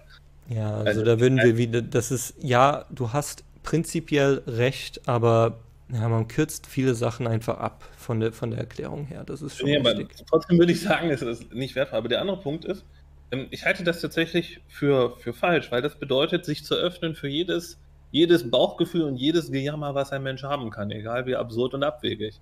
Und äh, das ist ja, Werte sind halt alle irgendwie subjektiv. Aber was kann ich da schon wissen? Ach, da kann man doch nicht drüber reden. Das ist aus meiner Sicht genauso, wie wenn man sagt, ja, über Kunst kann man nicht reden, alles ist irgendwie Kunst. Ja, man kann darüber ähm, reden, aber als Teil der Botschaft, das, was die richtige Antwort ist, rauszuhauen, ähm, das ist, glaube ich, was anderes. Aber das, das meine ich mit. Und ich bin der festen Überzeugung, holt euch damit Massen an Werterei in die Bewegung, die eigentlich der Freiheit widersprechen. Und, und, und, und was entsteht, sind so, so, so verunstaltete, ekelerregende Zombie-Konstrukte wie Paläolibertarismus. Hm. Wir sind irgendwie für Freiheit, aber sobald es in Abtreibung geht oder Gott und die Kirche oder so, oder, oder darum geht, äh, Obdachlose von der Straße zu prügeln, sind wir irgendwie nicht mehr so richtig für die Freiheit, weil das gefällt den Rechten. Und das ist uns irgendwie wichtig. Also ich bin der Meinung, wenn du das so machst, dann machst du dir deine Bewegung kaputt, weil, weil die hat da nicht genug Fundament. Ich, ich, ich glaube, alles, was deine Bewegung da nur ist, ist nur ein einziges großes Anti-Irrstaat irgendwie doof. Und ich würde sagen, ja, ganz, ganz viel von dem, was Libertarismus ist auf der Welt aktuell, ist irgendwie nur so ein diffuses, defensives Staat irgendwie doof. Ich meine, nimm nur die unsere, unsere bevorzugte Flagge, die Getzenflagge. Mit mhm. Don't Tread on Me. Mhm. Ja, okay, hat so einen leicht aggressiven Charakter, aber im Wesentlichen ist es ein Mimimi, lass mich doch in Ruhe. Ich glaube nicht, dass das für die Mehrheit der Menschen besonders sexy ist, wenn dein gesamtes Ding nur ist, Mimimi, lass mich in Ruhe. Das, das, das glaube ich nicht. Ich glaube, du kannst den Menschen, es ist sinnvoll, den Menschen moralisch mehr zu bieten und zu sagen, nein, wir glauben eben nicht, dass die Welt nur daraus besteht, dass du irgendwelche komischen, abwegigen Bauchgefühle hast und das dann irgendwie machst. Und ich glaube auch nicht, dass das, wie gesagt, gut mit einer kapitalistischen Welt zusammengeht. Ich bin der festen Überzeugung, das macht deine kapitalistische Welt kaputt, weil deine komischen Bauchgefühle nach und nach deine politische Ebene fressen. Und das würde ich sagen, ist bei der Paleo-Bewegung passiert, das ist davor passiert bei Rothbard, als der mit den quasi 68ern und Vietnamkriegsgegnern in ein Boot gestiegen ist. Da kam dann irgendwie der Sozialismus hintenrum ganz viel rein. Ähm, und ich glaube, das ist genau das Ergebnis. Und deshalb glaube ich, hat zum Beispiel Rothbard auch einfach äh, genau aus dieser strategischen Überlegung sich an jeden scheiß Diktator so ziemlich der Weltgeschichte irgendwann mal rangehängt und geschrieben, dass Che Guevara ein toller Revolutionär ist und dass Lenin eigentlich recht hat, weil er den Staat abschaffen will und dass Stalin eine friedliche Außenpolitik hat und dass Hitler nie erobern wollte. Das ist ja alles, was Rothbard geschrieben hat. Warum? Weil er eben auf dieser Werteebene so blank ist und deshalb ihm da der entscheidende Kompass fehlt. Und du deshalb zu einem Fähnchen im Wind wirst, was immer nur, wo ist gerade die größte Gruppe, die irgendwie den Staat hast. Aber ich glaube nicht, dass das eine stabile, dauerhafte Bewegung wird. So meine Überzeugung.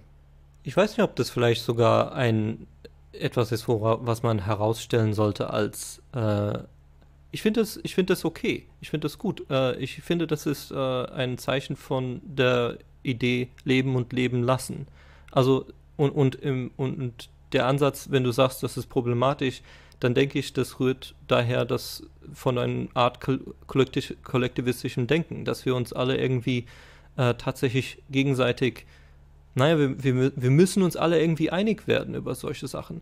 Nee, also wir müssen uns nicht über alles einig werden. Ihr macht euer Ding, wir machen unser Ding und, und äh, ja, solange solang man nicht irgendwie sich an die äh, Kehle geht, dann ist es ja auch in Ordnung. Also ich denke, das ist äh, ein und die, was über diese Unterstellung über Rothbard angeht, da bin ich jetzt nicht gerade akut drin, äh, um da dagegen zu sagen, was berechtigt ja, ist oder was nicht. Aber grundsätzlich ist es schon diese, die, also ich finde diese, das, dieser kollektivistische Ansatz, der dringt da so ein bisschen durch, muss ich sagen. Ähm, halte ich für ein Missverständnis. Es ist eben kein Kollektivismus. Ich bin überzeugter Individualist. Ich bin nur der Meinung, dass, dass es äh, äh, dass sozusagen Leben durchaus eine Sache ist, die nicht von der Rationalität gelöst werden kann, dass es nicht ein subjektives Bauchgefühl ist, äh, erfolgreich zu leben oder zu leben. Und dass man nicht so tun sollte, als sei es nur subjektives Bauchgefühl. Wenn du nichts produzierst, überlebst du nun mal nicht. So ist es halt. Der Mensch muss produzieren, um zu überleben. Und, und, und, egal, was du sagst und egal, was dein subjektives Gefühl ist, an dieser objektiven Realität wirst du nichts ändern können. So, so meine Überzeugung. Deshalb würde ich nicht sagen Kollektivismus. Du kannst sagen, es ist dir vielleicht zu so dogmatisch. Oder, oder du, du glaubst nicht, dass man so viel Realität erkennen kann, weil der Mensch fehlbar ist und nur begrenzt was weiß. Das, das kann ich alles verstehen, aber ich würde nicht sagen, dass es kollektivistisch ist. Ich würde sagen, es ist einfach der Glaube, es, es gibt eine objektive Realität, wir können sie erkennen, wir können daraus etwas ableiten, wenn wir erfolgreich leben wollen. Ja, das ist ja wieder die Inhaltsebene. Da könnten wir ja ausgiebig darüber diskutieren. Ähm, also ja, also jeder hat ja, Wertentscheidungen, ja klar. Also ich, ich würde da mitgehen äh, und, und, jeder hat Wertentscheidungen und ähm, es gibt so eine, ja, irgendwann, manche Wertentscheidungen sind halt nicht miteinander vereinbar. Ne? Also wenn, wenn irgendjemand sagt, okay, er will hier Lebensraum oder sowas, dann, okay, dann, dann ist irgendwann Schluss. Ähm, Wertentscheidungen sind zwar subjektiv, aber sind nicht unbedingt miteinander vereinbar. Ähm, und man trägt natürlich äh, trage ich dann auch, kann, ist es ja schwer vermeidbar, äh, eigene Wertentscheidungen auch mit zum Teil. Und, und es gibt dann, okay, andere Werte. Also ich bin da, ich, ich bin da, wie sagt man, ähm, akzeptiere da andere Wertentscheidungen durchaus, solange sie tatsächlich mich in Ruhe lassen. Ja, also ich, ich bin, bin da nicht so, habe nicht so das Bedürfnis, anderen vorzuschreiben, hier, das ist äh, das ist nicht korrekt, das ist nicht äh, diese religiös Fundamentalisten, ähm, die sind abzulehnen und damit soll man sich nicht assoziieren oder sowas, weil ähm, ja irgendwie andere Wertentscheidungen. Äh, nee, die Frage ist, was ist so der Minimalkonsens, den man, worauf man sich wirklich einigen muss? Und äh, darüber hinaus bin ich bereit zu sagen, okay, man, man, man geht ein Bündnis ein oder man, man, man paktiert oder wie auch immer der Rothbard es genannt hat. Ähm, soweit es halt den gemeinsamen Zielen näher kommt. Also, also, nur um ganz kurz was klarzustellen, es geht mir nicht um Vorschreiben, das, das würde ich für grundfalsch halten, ich will niemandem etwas vorschreiben, aber ich werde immer Menschen sagen, dass es äh, ein objektives Richtig und ein objektives Falsch gibt und dass ihr, ihr willkürliches Gewimmer unter Umständen objektiv falsch ist. Das meine ich damit. Das bedeutet ja nicht, dass du es erzwingen musst. Das, ja, das sind ja zwei grundverschiedene Sachen, ob du sagst, es gibt ein Richtig und ob du sagst, ich werde dich erschießen, wenn du es nicht tust. So. Ähm, weil ich glaube auch zum Beispiel, dass es eben einen Minimalstaat gibt und dass Menschen äh, den Raum haben, die Konsequenzen ihrer dummen Entscheidungen selber zu spüren, das halte ich für essentiell und deshalb halte ich das für absolut richtig. Ähm, aber um nochmal ein bisschen auf die, bevor wir uns zu sehr in dieser Werteebene, weil wir kommen in die Werteebene, du hast ja mhm. recht, ähm, vertiefen, ganz wertneutral gesprochen, jetzt wirklich ganz bewusst nur einfach mal wertneutral analysiert. Hältst du, was du eben gesagt hast, alle machen mal für ein starkes Werbeargument, was die Menschen mobilisiert? Ich nehme nicht jetzt mhm. einfach, ganz gleich, wie man jetzt moralisch dazu steht, aber ich nicht. Ich glaube nicht, dass das irgendjemand richtig rockt. Ja, aber das ist ja nicht das. Von mir aus können wir auch äh, sagen, ich bin durchaus in anderen Momenten äh, geneigt dazu zu sagen, äh, ja, okay, die Leute werden es nicht verstehen oder sie werden nur, ähm, sie werden, man kann es sie nicht äh, erklären insofern würde ich da bin, bin, ich auch in anderen Momenten durchaus bereit zu sagen, ja, du hast recht. Ja, man kann das, man kann das ihnen so nicht verkaufen. Also ich, ich, ich meine, also Liberty Rising verkauft ja auch, auch ganz klar mit positiver Vision, ja, geile Welt, Wolkenkratzer. Äh, ja, ich weiß auch nicht, wie weit das gut ankommt, ehrlich gesagt. Also das ist, ähm, ich weiß nicht, also ich bin immer vorsichtig dabei, anderen Leuten ihre Sachen schlecht zu reden. Also von, von wenn ihr das für sinnvoll hält, dann, dann weiter voran damit. Ähm, ich behaupte aber nichtsdestotrotz, dass, es, äh, dass die Aufnahmefähigkeit dafür auch begrenzt ist. Hm. Vielleicht, aber ich glaube, dass es sich zumindest vor, aus meiner Sicht, einem riesigen Problem der libertären Ecke insgesamt bewahrt, nämlich nihilistischem Dummertum so ein, äh, ach, was kann man machen, ach, alles scheiße, ach, ich pöbel ein bisschen online, aber eigentlich ist es eh egal, ach, was will man schon tun. Weil ich glaube, dass das einfach ein unglaublicher Inaktivitätsfaktor ist, jetzt so, äh, auch wieder, jetzt wertneutral einfach erstmal so, strategisch. Ich meine, bedenkt mal, wie viele Libertäre es gibt bei den Hayeks, die EF lesen und so weiter und so fort und wie wenig die relativ gesehen tun, faktisch. oder bei, bei Mises, außer ein paar Bücher schreiben und, und, und online jammern, dass alles doof ist.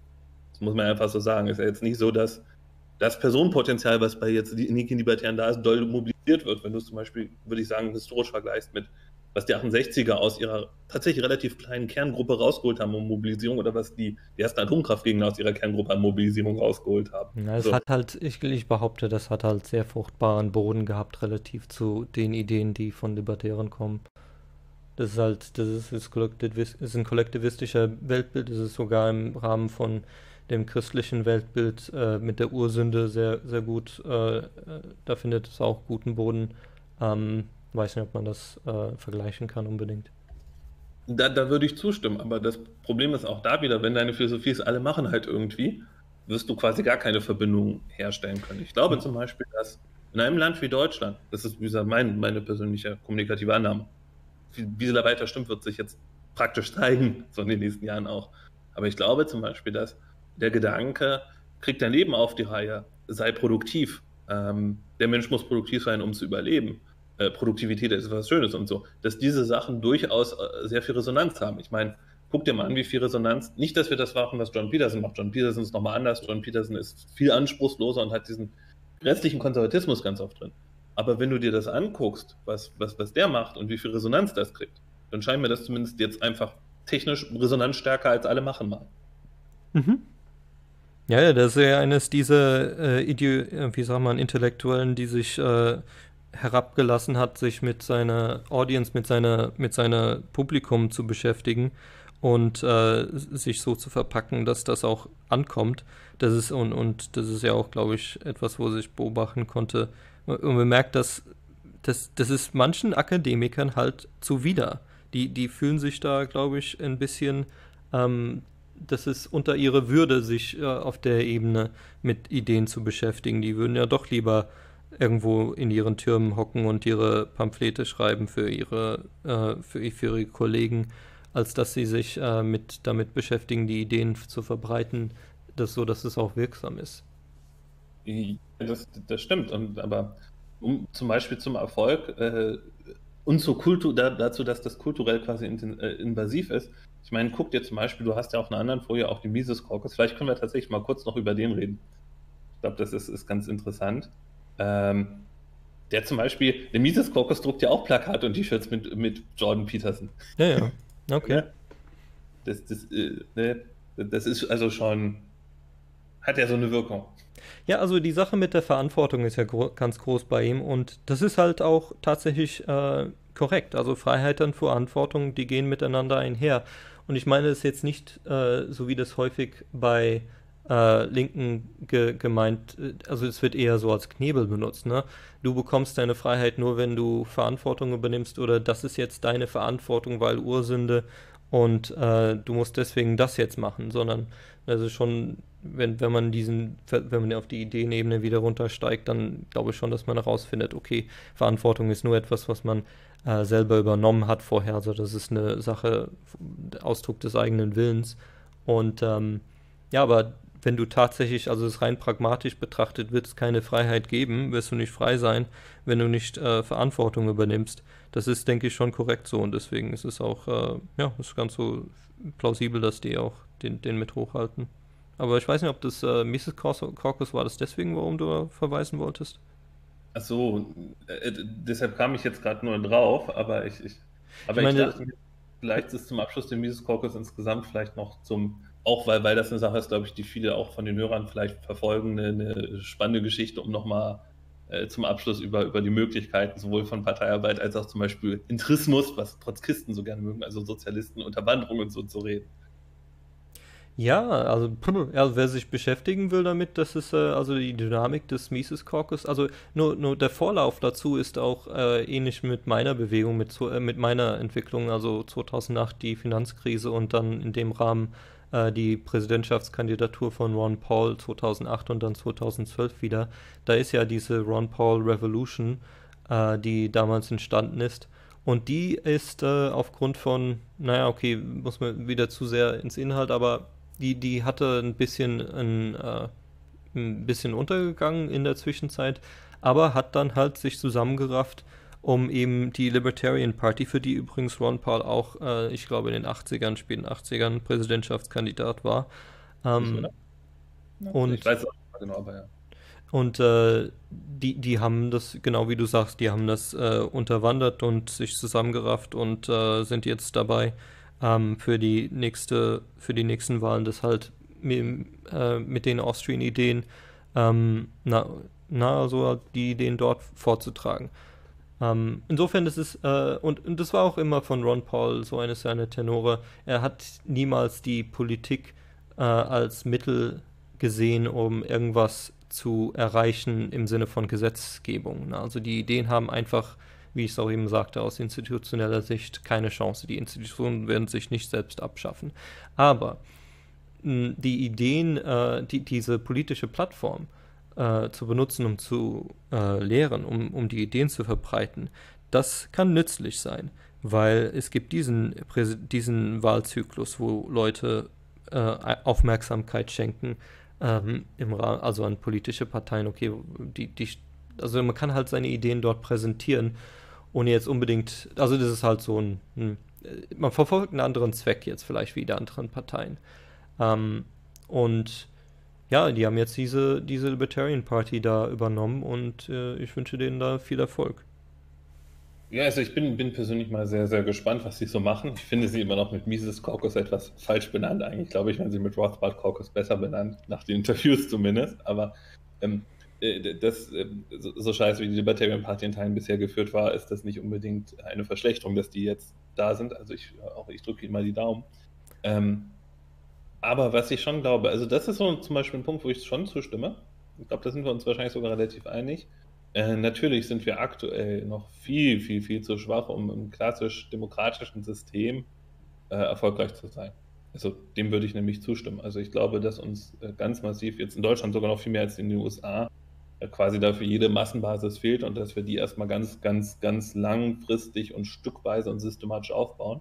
Was glaube ich auch nochmal ein Unterschied ist vielleicht zwischen, vielleicht können wir da nochmal hin zwischen eigentlich Liberty Rising und, und dem Marktradikalen, weil ich glaube, dass Liberty Rising viel größeren Schwerpunkt darauf hat, physisch zu sein, wenn mhm. du verstehst, was ich meine. Also sichtbar zu sein, ähm, greifbare Strukturen quasi zu bauen.